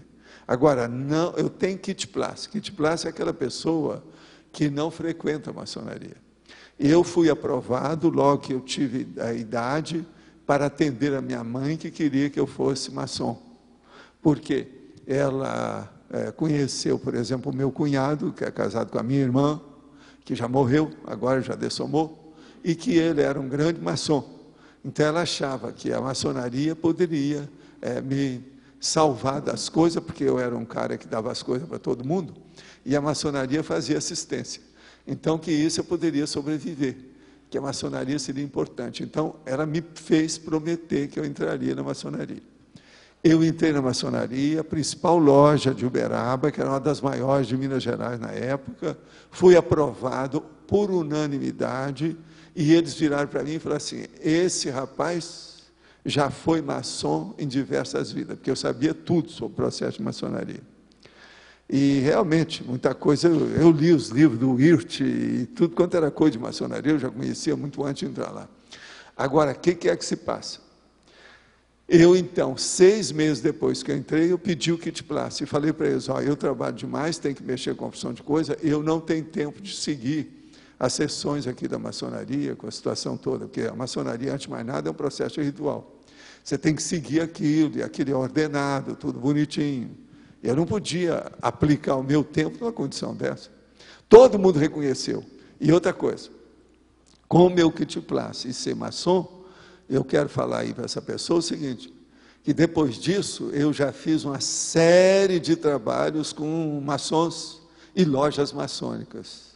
E isso todo lado. Já teve gente maçom até na Europa, que foi me encontrar no hotel para pedir alguma coisa ou fazer qualquer coisa, porque sabia que eu era maçom e conhecia a maçonaria. Agora, uma das coisas mais sérias que aconteceram comigo é o seguinte: a principal loja, talvez, do Brasil na ocasião, era em Brasília. Então, eles fizeram uma loja que era enorme no subsolo de um edifício e construíram um edifício em cima. Todos aqueles andares do edifício, lá, eu não sei hoje como é que é, que já faz alguns anos. Todos aqueles andares eles alugavam para pagar a manutenção das lojas. E lá nessa loja funcionavam 14 lojas. Agora, o que, que se passa? Começou a dar um problema de interferência, de alguma coisa de influência extrafísica lá, porque é aquele monte de gente. Então, juntaram três grandes da maçonaria, você sabe, aqueles que já têm o grau tal, e fizeram então entre colunas em cima de mim, foram lá e me pediram. Nós pedimos a você, solicitamos que façam uma limpeza da loja. Aí eu fui com eles em Brasília, lá, a situação toda, entrei, mandei sair todo mundo, e eu fui ver a loja sozinho, fazendo aquela do Monk. Né? Para ver onde é que, é que tinha o processo da energia. Aí eu descobri onde é que era o processo mais sério, que era na Câmara de Reflexão. Aí comecei a trabalhar na Câmara de Reflexão. Um tempo depois, eu fui lá, chamei o povo todo e falei assim: ó, eu acho que agora vai limpar. O processo é a Câmara de Reflexão. Deve ter havido aqui alguém que fez um negócio e tinha uma base até criminosa de alguém que pensou que deve ter feito algum crime, alguma coisa, o negócio veio para cá, piorou, isso ficou empesteado a situação estava precária. E ninguém tinha percebido que era a Câmara de Reflexão. A Câmara de Reflexão ela tinha que ser puríssima. Você sabe que tem Câmara de Reflexão que tem até água lá dentro, para umidade, para limpar o ambiente, aquela coisa toda. Agora, então, com isso, eles me agradeceram, etc. Tal. E eu fiz, até nessa loja, uma palestra, que entraram mulheres, uma opção de gente, as senhoras dos maçons, um monte de gente. Eu respondi um monte de questionamentos, questões, tudo pública, tudo aberto. Agora, eu já fiz assim, pesquisa, e, vamos dizer, speech, peroração, é, conferência, palestra em loja maçônica, com as portas abertas. Qualquer um pode ir participar. Entende? Hoje já está mais aberta a situação. Então, com isso, você vai ver o que, que é. Agora, eu falo da maçonaria o seguinte: a maçonaria, até um certo ponto, ela lembra não mais aquelas sociedades secretas que ajudavam todo mundo. Mas hoje ela é uma sociedade que é, continua ajudando muita gente. Olha, o que eu vi de maçons ajudando cegos, ajudando viúvas, não está no gibi. São das grandes coisas que são feitas no Brasil que os maçons que fazem. Agora, o Instituto Cego do Brasil Central, tudo era da maçonaria. Eu trabalhei lá dentro e sei como é que era. Então, assim, ó, é um monte de obra de assistência social que eles fazem. Mas hoje nós podemos falar que a maçonaria se parece muito, não com o processo monetário do Rotary e do Lions, mas certo tipo de organização está mais aberta, igual o Rotary e o Lions. Mas não tem o capitalismo selvagem dessas instituições. O Rotary e o Lions tem muito capitalismo selvagem. A maçonaria não, é de assistência. Mas o processo em si, entende? Parece que hoje é muito mais aberto. A coisa está mais democrática, é mais acessível. Então, com isso, eu acho que eu clarei aqui. Eu acho que eu já falei nesse negócio de maçonaria umas cinco vezes aqui, né? Em relação a, aos rituais, como é que fica essa? Quem sai da maçonaria? Quem? O que, que tem? Tem nada a ver com isso. Você faz ritual é lá. E cada um tem seu grau. Mas a E cada grau tem seu, seu ritual. E outra coisa, tem ritual para tudo. Então fica tudo praticamente dentro de uma máquina automática. Tudo funciona daquilo ali. E o povo se entende. Há muita interação entre as pessoas da maçonaria por causa disso. Eles precisam disso. É o jeito de manter o processo. Entende? Agora, a maçonaria já não tem mais aquela força política que havia antigamente, tão forte, etc. Tal. Grandes nomes, inclusive da história do Brasil, até gente que foi presidente da República, tudo isso era maçom. Entende? É que os segredos foram se revelando, né? As pessoas não, não, muita coisa ninguém Os sabe. livros nada. estão nas Tem que livrarias. entrar lá para saber. Mas agora veja, os segredos têm muito folclore nessa história, muito mito, muita superstição, muita bobagem nisso. Tem gente que falou na palavra maçom, ela treme da cabeça aos pés, de medo. Isso tudo é bobagem, tem nada disso. O processo é muito mais É por causa acessível. daquele crânio. Agora, ó, tem que lembrar o seguinte: a maçonaria, dessas instituições todas que tem por aí, esquisitinhas, assim, ou, ou que o povo não entende, é uma das que mais ajuda os outros, são das mais assistenciais que tem. Eu sei porque eu já trabalhei nisso. É muito assistencial. Agora, é, é o negócio, as viúvas, por exemplo, o que eles têm ajudado de viúva através dessas é, dezenas e dezenas, essas décadas da vida, é, não- é uma coisa séria. E até porque os livros hoje têm tudo que é livraria, então Tem. não tem como segurar Mostra, informações. mas veja, só ler os livros não adianta muito, não. Maçonaria é mais embaixo, é a coisa mais séria. A pessoa pode pensar aí que viu tudo, que ainda não viu, não. Precisa saber. Isso é igualzinho para psiquismo. Essas A lojas pessoa chegou para mim e falou assim: Olha, eu tenho 5 mil livros sobre processo de parapsiquismo. Então eu fiz três perguntas para ele. Ele viu: Você não entendeu nada, você não leu os livros ainda. Ele falou assim: Realmente não li. Então, E nessas lojas que você falou que são que onde vão as esposas dos maçons, que são as lojas abertas, lojas brancas, como chamam, eles não mostram o que realmente acontece lá dentro nos rituais, né? não, mas nem, nem deve mostrar, né? É. Afinal de contas. Agora, tudo é um processo judaico, né? Até um certo ponto. Porque os judeus são mais antigos. O segredo é a alma do negócio. Muita coisa foi feita por causa disso. Ah, é? O, o Antônio, tem jeito de você passar aí para cima para mim? Antônio, isso aí é- são os últimos, são mais 20, tá certo? Ô, Val, é, só, posso falar? É, complementando, aquele, no livro ele fala que o da, aquele principal autor da Rosa Cruz, ele se correspondia com Hitler, né? Chegou a mandar cartas, é, orientar ele para ver se ajudava, mas pelo jeito nada, né? É. É, Pois. é Rendel, né? Rendel. Rendel. É, o Rendel. Mas o que, que é? Aldo, é, esse assunto tem a ver com auto-organização. Né? Aqui na antonimologia até você coloca autodesorganização como antônimo. E existe uma... essa ferramenta que a gente usa na auto-organização, que é o double check, você checar as coisas duas vezes. É, como é que você relaciona o double check com essa, com a auto-checagem? A auto-checagem eu acho que ela tem que ser contínua. Não é só duas vezes. Não é double check, isso é bobagem. É antes, né? Não, não não, é o tempo todo para né? frente.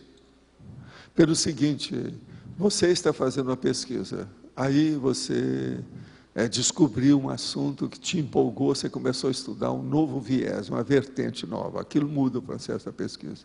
Você tem que fazer uma checagem adaptada àquela ideia nova. Você está fazendo pesquisa, lá pelas tantas você adoece, passa uma temporada, você não está com o mesmo, entende? O mesmo pique anterior. Você tem que fazer uma checagem diferente. E por aí vai. Essas coisas são, é o tempo todo você tem que olhar. Agora, isso de checar duas vezes, o nome não é bem esse, não. Ah, Existe um nome técnico em metodologia científica. O nome é reverificabilidade. Você tem que reverificar aquilo que você faz. Isso aqui é o double check. Isso é antigo. Double check é coisa de, de americano que usa aí va, nas questões de gestão para ganhar dinheiro. Agora, o processo é reverificabilidade.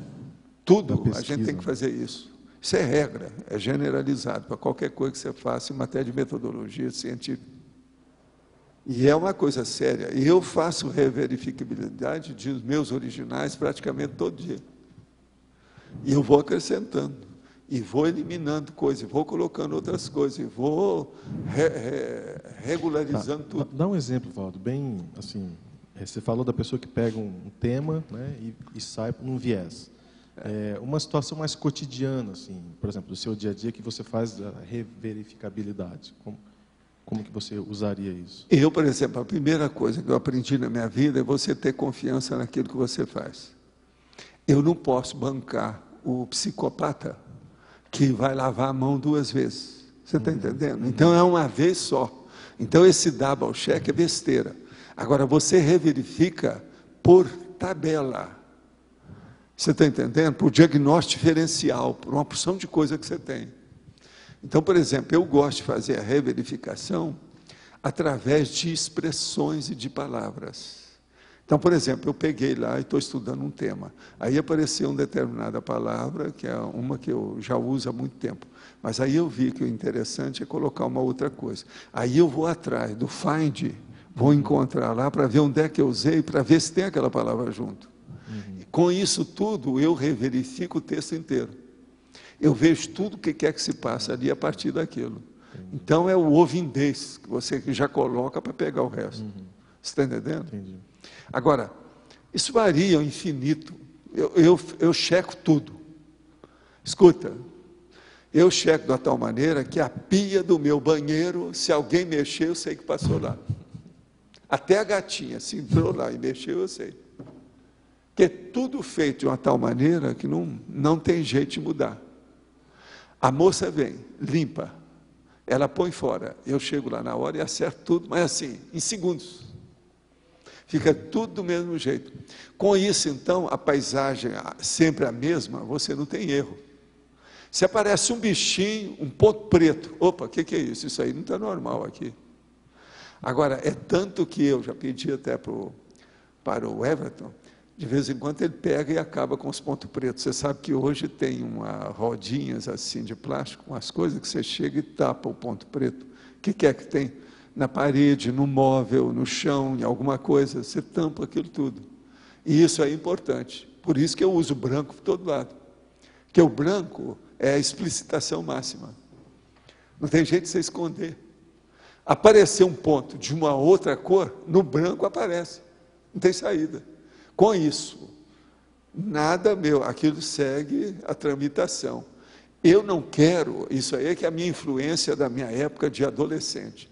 Eu não quero é que a moldura interfira no meu conteúdo, o conteúdo daquilo que eu estou trabalhando, da minha mensagem, do meu, da, da minha pesquisa. Eu não quero que a moldura entre. A vestimenta não interessa, interessa é o conteúdo, a essência, o que, que é que tem ali. Então eu não gosto de nada. Que é isso? Esse é o motivo, por exemplo, eu uso pasta só de um jeito, eu não vou usar de outra. Vai me criar problema. Agora, por exemplo, Você vai olhar minhas anotações e vai ver que eu uso mais é, é, caneta preta. Se você chegar e viu que tem caneta azul, já mudou tudo, tem uma razão de ser. Aquilo já indica um monte de condições que eu andei fazendo. Por que está com caneta azul? Primeira coisa, é a época, eu sei quando é que eu escrevi isso. Eu não preciso ter escrito ali. Uhum. 1953, eu não preciso, porque tem caneta azul, já sei quando foi. Assim, eu tenho um monte de técnicas. Eu, a minha cabeça, ela está totalmente automatizada nisso. Vê se me entende. Não tem que, jeito de fugir. Ao mesmo tempo é algo secundário para você não perder tempo com isso, né? Por exemplo, tem coisas assim de forma que o povo também não me entende, né? Por exemplo, eu estou lendo esse livro aí que ele me deu. Eu já encontrei aí algumas coisas atrapalhadas. Tem um outro lá que eu estou lendo lá também, que eu estou vendo a mesma coisa. Se eu vejo aquele processo. Não, o livro do Balzac é muito fraco, eu já passei para frente. Pelo seguinte, eu li só a parte que interessava lá para ver alguma coisa. Ele só faz, é, todo ele examina Balzac através de tópicos dos livros. E nem sempre eu estou de acordo com a análise dele. Então eu falei, é besteira isso. Não é, é menor do que eu pensava. Agora, o problema é o seguinte, por exemplo, uma expressão que está lá, se eu vejo que ela está errada, eu tenho minha técnica de marcar. Isso eu faço naturalmente. Quando eu acabo a leitura de um livro, se eu li ele todo, está todo marcado com isso aí. Eu não tive o mínimo trabalho de fazer isso. E aquilo ficou para sempre. Agora, de vez em quando eu pego até aquelas marcas e marco no fim do livro as bobagens do autor. E deixo lá uma porção dela. Isso feito na hora. Uhum. Aquilo serve para mim mais tarde tal. Eu já usei do, isso demais. As técnicas do heterocrítica, né? Pois é, e vem aquela pessoa que é apaixonada pelo autor, eu vou ver se eu li o autor. E às vezes marquei aquele monte de besteira dele, pronto, eu liquido com a pessoa. Então preciso ter um cuidado danado. Então, teve uma pessoa que uma vez falou de um autor, e eu não vou falar aqui nem a pessoa, nem o autor, nem nada. Mas o que que se passa?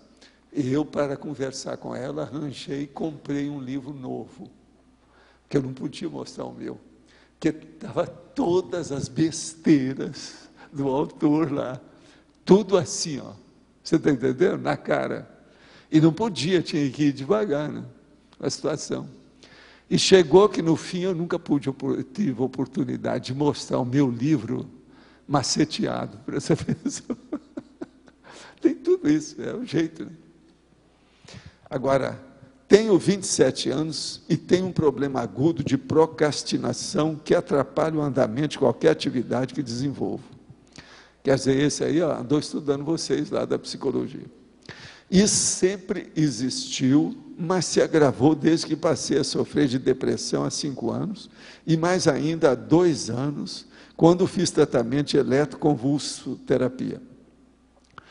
Tenho a impressão de que estou presa num cérebro que não funciona, pois não consigo me concentrar. Minha memória está péssima e tenho dificuldade em verbalizar as ideias.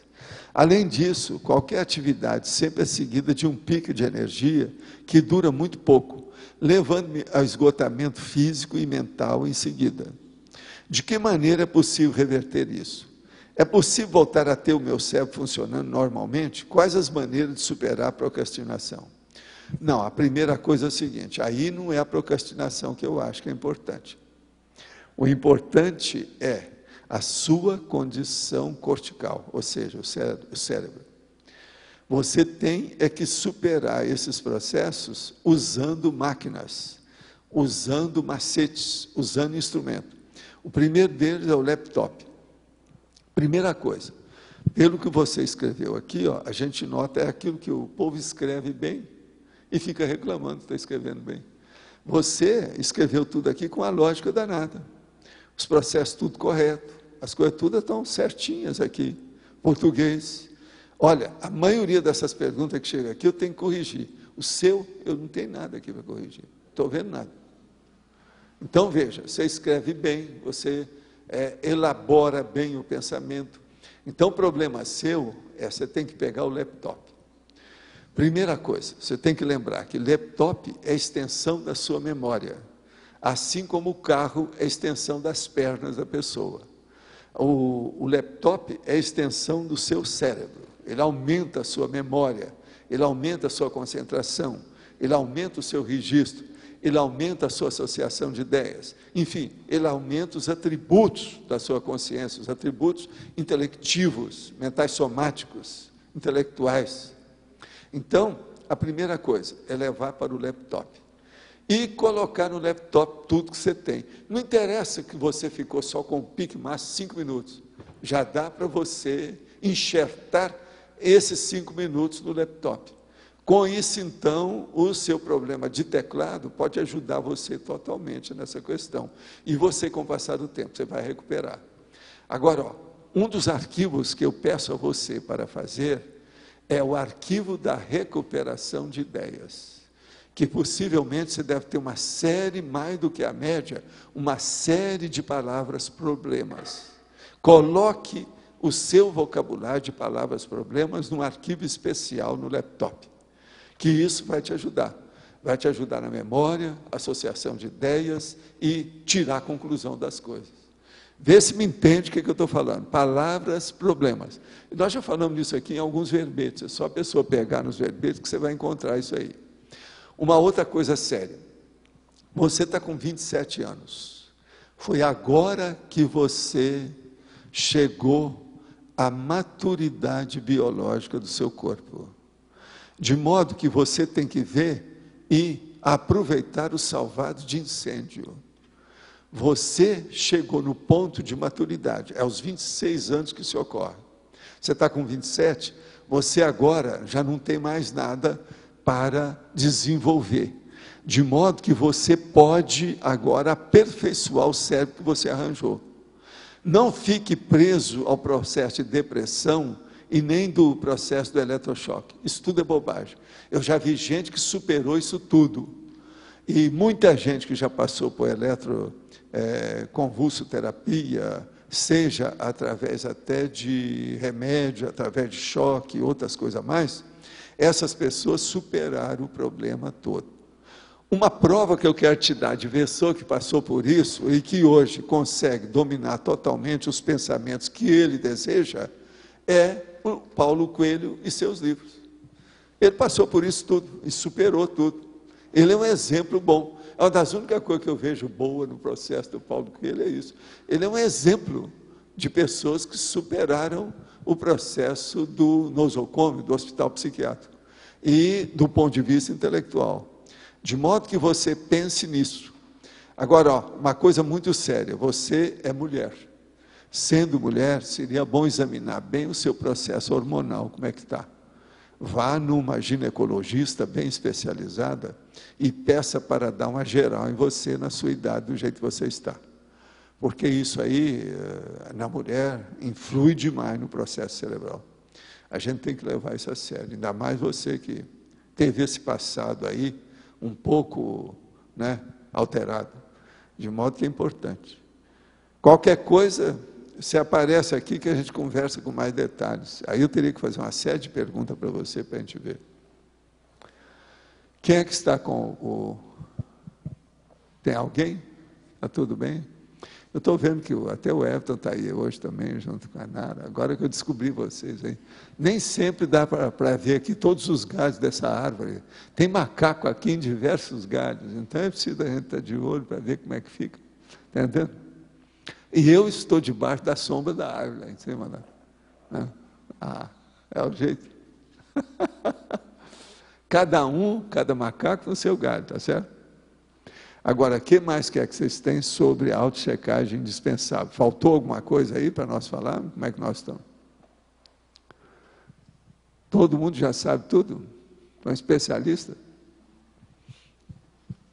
Mudar um pouco de, de assunto.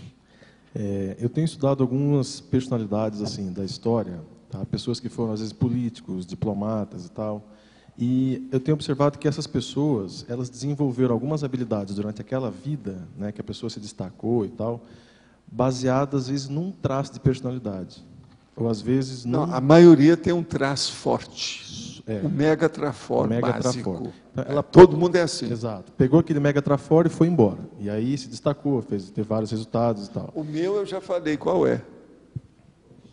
é. Eu sou homo sapiens determinados. Esses sapiens eu não sei, é mais sapo. Eu sou o homo sapo determinator, mas eu sou determinator. Valdo, mas aí essas pessoas, é, a gente vai estudar a vida delas e ver assim que, é, analisando, às vezes conscienciometricamente, é cheio de furos, cheio de problemas e tal. Nós todos temos. Eu tenho um monte de furos. Pois é. Não, eu também. Você sabe muito é. bem disso.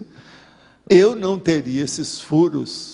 Se eu não tivesse esses furos, eu não precisava dar trabalho para você como meu médico cardiologista, um deles. Não é verdade? Tá bom. Você olha então que você me conhece bem atualmente, todos os meus trafários. Tá bom. Valdo, mas aí assim, ah, eu quero chegar na seguinte questão. Na hora que a pessoa, na hora que nós e que essas pessoas, nós dessomamos nessa vida anterior, muitos de nós tivemos os esbregues, né? Então, assim, a pessoa estava naquele mega trafor, né, achando que estava arrasando lá naquela vida, e aí dessoma e a realidade se abre e a pessoa vê que não era nada daquilo. Então, é, quando a gente vem para a próxima vida, essa, esse momentum pós-dessoma, é, ele, ele- como é que isso repercute na vida posterior?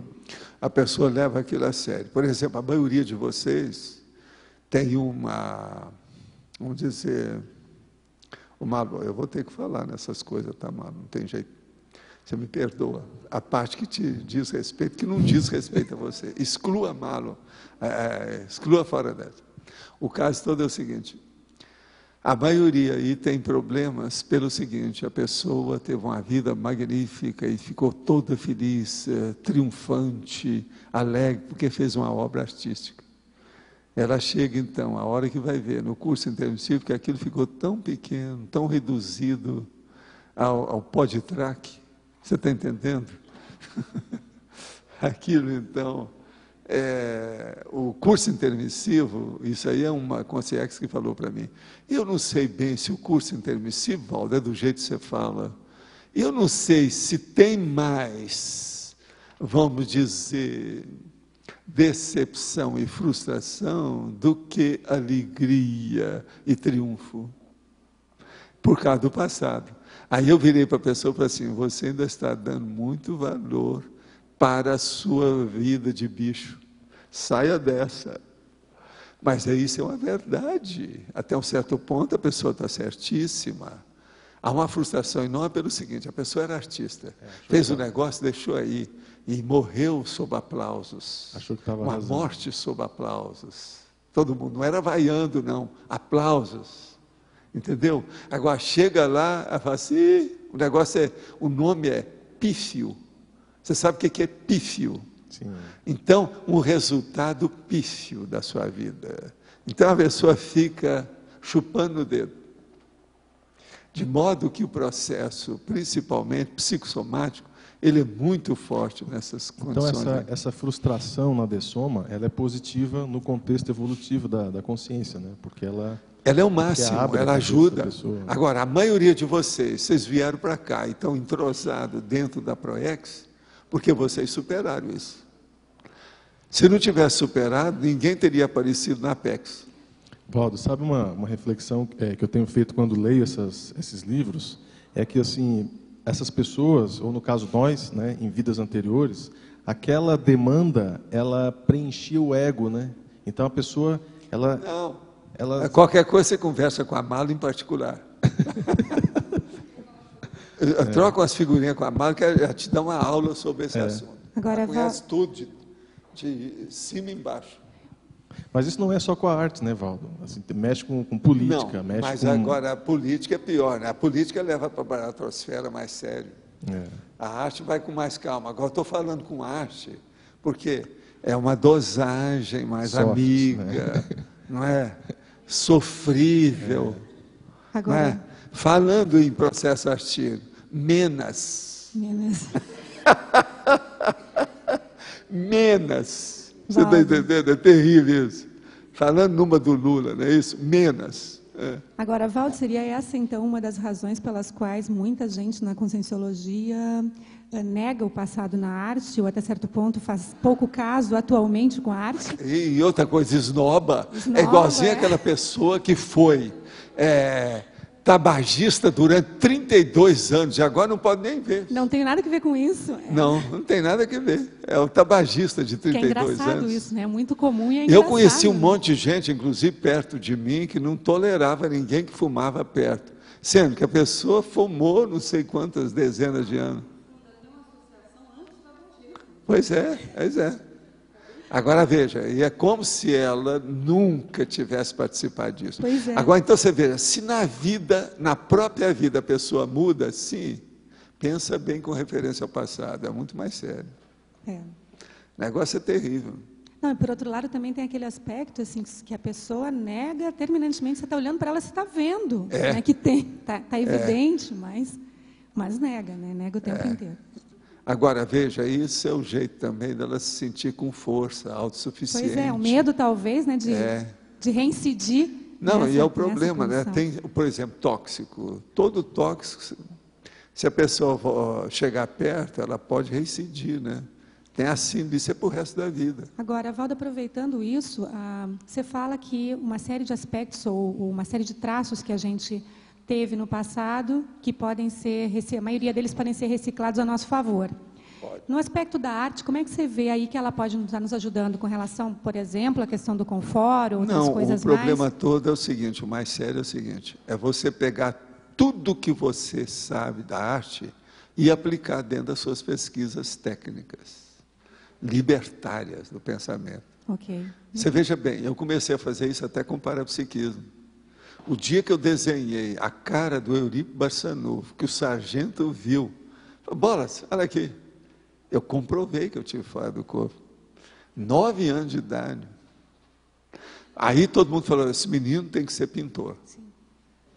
Agora, o dia que, com 10 anos, logo em seguida, foi no outro ano, nessa época, de junho, julho, então nós fomos fazer o negócio numa praça, num tablado, para fazer uma eh, grande apresentação pública, e eu lá, balancê, tour, e eu é que dirigi a quadrilha. O negócio foi um sucesso tão grande que a gente teve que repetir fora do, do, do, do período junino. Você está entendendo? Aí eles falaram assim: não, esse menino vai ter que ser artista. E, e aí por aí foi. Quando eles tinham me examinado, eh, o meu avô, que conhecia tudo sobre música, falou: não, o- ele tem o- a noção, que é isso que a gente chama de senso de musicalidade. Ele tem o senso de musicalidade superior à média de todo mundo da família. Tem que escolher um, um instrumento. Aí eu dei o contra. Eles falaram: não, esse menino tem que ser músico. Você está entendendo? Porque ele entoa bem. Você está entendendo o processo de entoar? Então, o processo todo, dessas três eu escapei de cara, ainda menino, menino, garoto. Agora, E com o tempo, meu pai me salvou, né? Porque ele falou: não vão mexer mais com ele, deixa disso. E outra coisa, meu pai tocava flauta doce, né? Ele também queria, no início, que eu fosse músico. Agora, depois que ele viu as coisas todas e viu o meu processo para psico, não, esse menino ó, ele falou que quer estudar a cabeça. Vamos deixar para ele estudar a cabeça. Aí ele já nasceu com a cabeça quebrada, ele vai saber o que, que é que os outros têm a cabeça quebrada. Deixa e vamos ver o que, que vai dar. Agora, Valdo, você dominou durante toda a sua vida, provavelmente, uma série de linguagens artísticas. A gente vê isso até mesmo na diversidade estética do teu texto. Não, mas olha, a maior prova do meu processo artístico do passado, eu tenho uma prova. A minha família, onde eu nasci, era uma orquestra que fazia o fundo musical do cinema mudo. Sim. Você quer coisa maior do que isso? Todo mundo tinha instrumento de música. Outra coisa, todo mundo tocava, mas meu avô tocava qualquer instrumento de corda, qualquer um, e tocava bem. Presta atenção, o pai da minha mãe. Minha mãe era bandolim, que é um dos instrumentos mais difíceis que tem.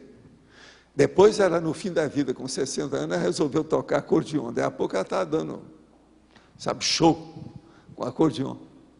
Uma cabeça. E assim é todo mundo, todo mundo lá tocava. Eu nasci naquele meio. Artista mesmo. Agora, tinha gente de cabeça que estudava. Minha mãe chegava a estudar álgebra lá para o negócio do curso primário. O meu pai estudava uma porção de coisa fora da odontologia, que era de medicina, com as coisas todas dele. Agora, a gente, a gente sabe que com você, Valdo, assim, ó, até, a tua, até a tua espontaneidade de caso pensado, né? Então, é. como é que é, vamos dizer, que você chegou né, nesse processo todo? Uh, isso foi proposital? Como é que você colocou esses pontos nos is, de maneira que essa estética Não, do teu texto o hoje problema seja tão nosso, efetiva eu, tão eu peguei pelas coisas que eu lembro, eu não sei bem com detalhes isso, mas uma coisa que eu sei é o seguinte: uma das coisas que ma mantiveram, ou que eu segurei, ou que a gente levou em consideração, foi a existência da minha mãe. A minha mãe era um ponto fraco, um ponto forte e um ponto básico, fundamental nessa minha vida. Entendeu? Então, através dela, eu poderia caminhar melhor, porque ela poderia me indicar, me encaminhar. E foi o que aconteceu. Então, a peça básica do meu processo aí foi a minha mãe. Agora, a minha mãe, ela estava bem encaixada nesse processo dessa equipe toda de artista, com o povo todo. Mas veja, a profissão dela não era artista, ela era uma professora primária, muito dedicada ao processo dela. 35 anos dando aula de curso primário, isso não é fácil, né? Pensa bem. No interior do Brasil, e outra coisa, o grupo lá não era fácil, não. Um negócio muito sério. A escola era muito mais organizada do que é hoje aqui. E muito mais exigente, muito mais sério. Já tinha biblioteca, tinha essas coisas todas, um negócio muito sério. Tinha diretora muito rigorosa, tinha inspetor, tudo, coisa muito séria na época. Outra coisa, o grupo ainda existe até hoje funcionando na principal praça da minha terra até hoje. Você, você viu lá. Né? Então eu vejo o seguinte: a, a minha mãe foi uma peça-chave, a que desencadeou o acolhimento para o meu trabalho nessa vida. Ela me ajudou muito. Meu pai também me ajudou, mas o que eu acho que encaminhou mais foi a minha mãe, porque ela me viu muito cedo como eu era você já pensou se eu tivesse nascido com as pessoas que não tivessem nenhuma ideia dessa? Como é que seria eu com a minha meus processos de parapsiquismo, minha condição de querer estudar e saber tudo e perguntar tudo? Eles iam acabar comigo. Não ia sobrar nada. Outra questão, às vezes você lê, a gente lê algum, alguma passagem dos teus textos e são passagens críticas, daqui a pouco você entra com alguns elementos que são poéticos. Você faz isso de propósito? Como é, é de que propósito, é? para atenuar o processo. Se você começar a falar uma coisa séria, séria, séria, séria, a maioria ainda tem problema. E outra coisa, antigamente eu dava mais concessão para isso, eu fui reduzindo o percentual. Hoje eu não estou usando nem, talvez, nem 20% do que era. Agora, eu quando comecei, eu usava até 60%, para ficar uma coisa mais acessível. Tem textos meus assim bem claros. É porque você usa Inclusive, menos que, eu mandei que hoje fica mais evidente, Aqui, né? ó, e fora, mais. E fora da mediunidade, fora da psicografia. Tem uhum. coisa que eu mandei para a Europa, eles publicaram lá. Mas tudo para fazer média dentro daquele processo, que era o jeito para alcançar algum estudo. Agora, onde é que eu tinha experiência disso? Porque na União da Mocidade, a gente tinha de 15 em 15 dias de, de de semana em semana, semana sim, semanas alternadas, tinha um círculo de estudos. No círculo de estudo, então, eu cheguei a uma péssima conclusão para mim, que o povo não tinha cabeça para nada. A turma com quem eu... E outra coisa, para mim era o máximo, que eu tinha saído de Monte Carmelo, tinha ido para Uberaba, falei assim, aqui acabou. Eu estou no paraíso da intelectualidade mas foi uma loucura. Havia uma pessoa que eu recebia e tinha visto o jornal por causa da minha biblioteca, porque eu fui para o internato com 12 anos. Três anos antes, que aos nove, eu comecei a fazer a biblioteca. Na minha biblioteca tinha jornais, revista, livro, tudo. E uma dessas tinha o jornal que era publicado em Uberaba. E tinha uma pessoa que eu gostava de ver o que, que ela publicava. Quando me deu a oportunidade de ir para Uberaba, três anos depois, eu vou para o internato, eu falei assim, eu quero conhecer essa pessoa que escrevia quem é. Aquilo demorou. Um dia eu fui conhecer a pessoa e fui conversar com ela com calma. Foi a maior decepção para mim. Aí eu cheguei perto de um professor que já era de idade e falei com ele: vem cá, como é esse processo de conhecimento, o problema de intelectualidade, isso que eu chamo hoje a cognição? Ele falou assim: olha, você tem que ir com calma. As pessoas, quase sempre, elas sabem as coisas por paixão. Não, não é isso que você está querendo. Você está querendo pesquisar por racionalidade. A maioria você vai ter é gente apaixonada. E é isso que eu vi na moça. Aí eu comecei a ver. Interpretei a moça direito, os casos todos, aquelas pessoas. Comecei a entender os professores das escolas depois, mais tarde.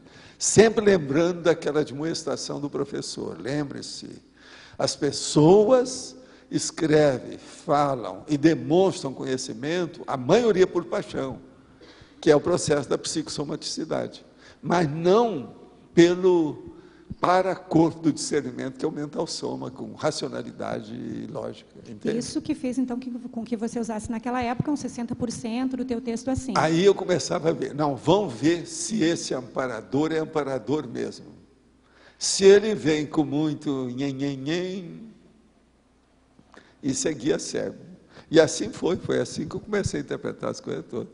No Espiritismo, então, então, deixa eu 90% só guia cego. Raramente você encontrava um que tinha Então, se você tinha lucidez. um amparador que não fazia nhenhenhê, vamos dizer, e vinha com a ideia mais limpa, você, na tradução desta ideia para o texto, é que utilizava de uma linguagem 60% mais literária ou mais poética? Ele não? mesmo falou assim. Ele mesmo você, fazia? Não, o professor mesmo me falou: não escreva só dentro dessa racionalidade, uhum. senão você vai criar problema para você. Uhum. Espere que você cresça. E ele ainda falou: cresça e apareça. É assim que o povo gostava de falar com a gente. Uhum. Eu recebi isso não sei quantas vezes na minha vida.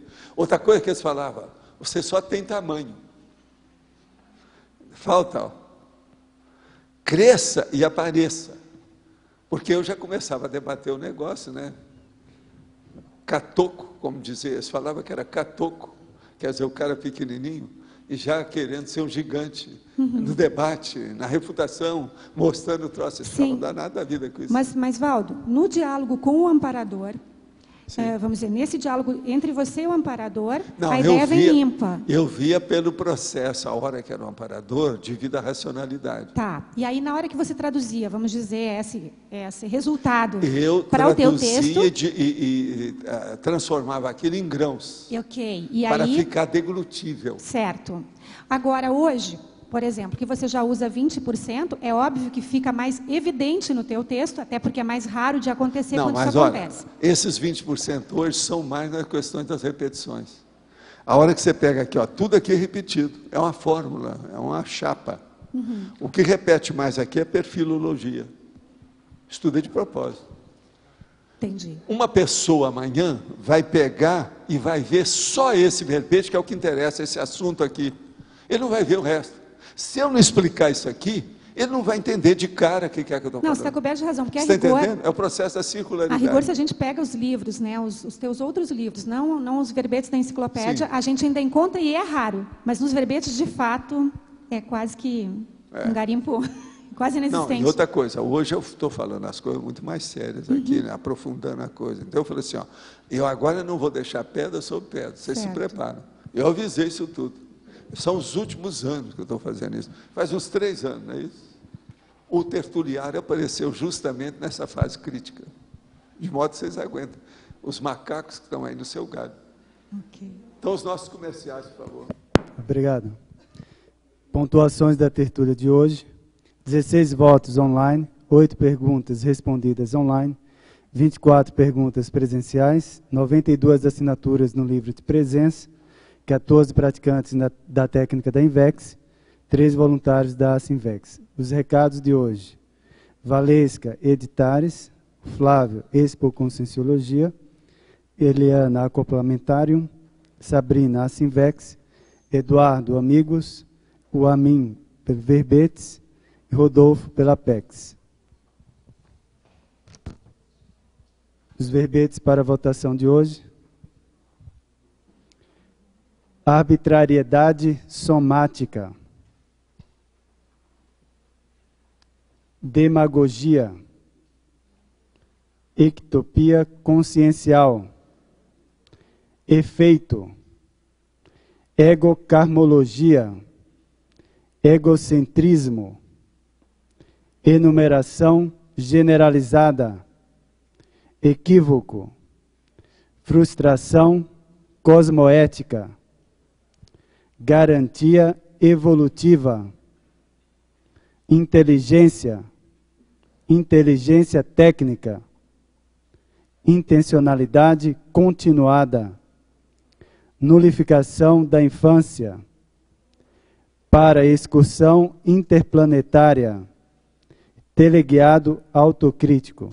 Solicitamos a todos que sejam breves os seus recados. Boa tarde, pessoal. Para lembrar vocês que amanhã, domingo, às 18h30, nós vamos ter o lançamento oficial do livro da nossa querida Maria Tereza Lacerda, A Pedra do Caminho. Vai ser lá na Expo Conscienciologia, lá no shopping. É, ontem nós tivemos a, um, uma, um talk show em francês, na Casa de Cultura Franco-Brasileira. Foi um espetáculo, foi très chique. Foi em francês, nós, algumas pessoas daqui participaram. Então, vamos lá prestigiar essa autora, a mais nova autora da Conscienciologia.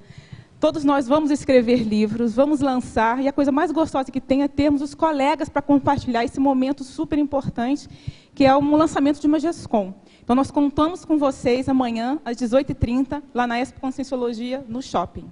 Obrigada. Gente, é, boa tarde.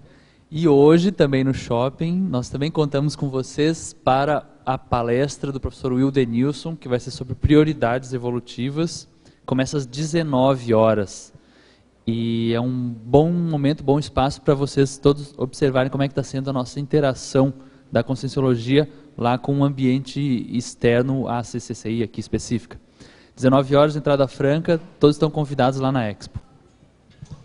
Boa tarde a todos. Estamos aqui para convidá-los para participar do Acoplamentário de julho. Acontece 17, 18 e 19 de julho, mês de férias. E se as pessoas que querem aprender, no caso, é trabalhar com a questão de conflitos íntimos, o tema que os EPICONs estarão trabalhando será anticonflituosidade. O professor Moacir Gonçalves e o professor Alcir Alves. Lembramos aos teletertulianos que ao virem de viagem, aproveitando o mês de férias de julho, que viajem com máscaras devido à gripe suína. Então, tendo aí vontade de participar, entre em contato com a recepção do CAEC através do telefone 045 35 25 26 52. Estão todos convidados. Boa tarde, pessoal. Eu sou voluntária da Sinvex e queria chamar vocês para o Cinevex, que vai ter hoje, com um filme chamado Grande Debate que é baseado na história real. Vai ser hoje às 19 horas, é uma atividade gratuita. Então, quem quiser ir, é só aparecer lá às 19 horas. Vai ser no discernimento. Tá? Boa tarde, pessoal. Uma pergunta para vocês. Eh, vocês já fizeram alguma vez autochecagem parapsíquico? Então, o curso Energometria, eh, do dia 18 e 19 de julho, no próximo mês, vamos fazer o curso de, desenvolvimiento parapsíquico a través de con el profesor Mario Oliveira. Entonces, todos ustedes fican convidados para participar de ese curso que o mellor dele es que va a apoyar a construcción do Serenarium. Obrigada. Boa tarde a todos. Nós novamente estamos pedindo ajuda para quem possa colaborar no grampeamento dos verbetes. As pastas já estão lá na mesa do, do holociclo. Quem puder ajudar é só se dirigir ao holociclo e procurar lá o mantenedor responsável. Nós queremos também aproveitar para agradecer todos os voluntários que têm ajudado a, a grampear os verbetes. Né? Sem a ajuda desses voluntários, nós não poderíamos estar distribuindo esses verbetes aqui na tertúlia. Tá? Muito obrigado a todos. Pessoal, o nosso recado aqui em relação ao programa Amigos. Hoje é o último dia da campanha, tá? Vai até, para quem está em casa, até meia-noite, né, pelo site. E quem está aqui em Foz do Iguaçu pode fazer a sua renovação na recepção do CAEC para concorrer aos seis cursos de aprofundamento e a esse laptop. Eu queria só lembrar quais são os cursos. É o ECP1, um ECP2, um acoplamentário, o balanço existencial, o Media Training, que é um curso da Comunicons, e créditos na OIC, para a pessoa escolher o que ela quiser fazer na OIC. E além disso, a pessoa vai ganhar todos que se inscreveram, vão ganhar 20% de desconto no manual de Mega Pensenes, 15 dias de torpedo com verbete da tertúlia, um crédito para experimento no laboratório do CAEC, um livro da Editares, Sempre é Tempo ou Pedra no Caminho, e a gratuidade por um ano de sessão pipoca no discernimento. Tá? Nós já passamos de 90 inscritos. Tá? Então, assim, é um resultado muito bom da campanha. A gente não alcançou a nossa meta, que é 450, mas a gente vai trabalhar para chegar lá. E eu acho que a gente tem condição de chegar. Agora, só hoje no sábado já foram mais de seis inscritos na recepção do CAEC e pela internet a gente vai checar até o final do dia. Nós vamos estar de sobreaviso hoje até a meia-noite para quem quiser mandar e-mail, ter alguma dificuldade e amanhã de manhã também para resolver algum problema que tenha ficado do sábado à noite, tá bom? Então, boa sorte a quem se inscreveu. Ok, boa tarde. É, nós teremos hoje, a PEX Internacional vai realizar conferência online. É, para participar, basta entrar no site www.apexinternacional.org e o tema de hoje é a biografia de Pitágoras. É, nós estamos fazendo também no Expo Conscienciologia, ou seja, a gente vai fazer presencial e online. Os teletertulianos podem participar entrando no site da PEX e vocês que estão aqui podem também participar entrando no espaço da Expo Conscienciologia. O professor conferencista João Ricardo, ok? Hoje, às 15h30, às 17 horas, entrando no site da PEX, www.apexinternacional.org. Muito obrigado. Pessoal, meu aviso é sobre a gripe suína. Nós agora temos um primeiro caso aqui em Foz do Iguaçu confirmado. Essa pessoa, tudo indica, teve o contato na Argentina, o contato primário. Essa pessoa está bem, está em domicílio e está, nós estamos tentando fazer o contato com os contactantes dessa pessoa. O nosso aviso é para os teletertulianos ou as pessoas que estão vindo para a Foz, aqui para o CIAEC, principalmente de fora do país, que nos avisem, nos contacte antes. Se puder adiar ou retardar essa, essa vinda para cá, a gente sugere isso. E se for é, impossível, não for, é, não tiver como fazer essa, essa alteração de data, usar máscara no, no voo e contactar conosco para que a gente possa, de alguma forma, acompanhar se há o surgimento de algum sintoma. Tudo bem? Qualquer informação adicional, a gente está disponível na recepção do CAEC também. Obrigado. Para amanhã teremos o verbete egocentrismo, ganhou com 10 votos. Obrigado, uma boa tarde.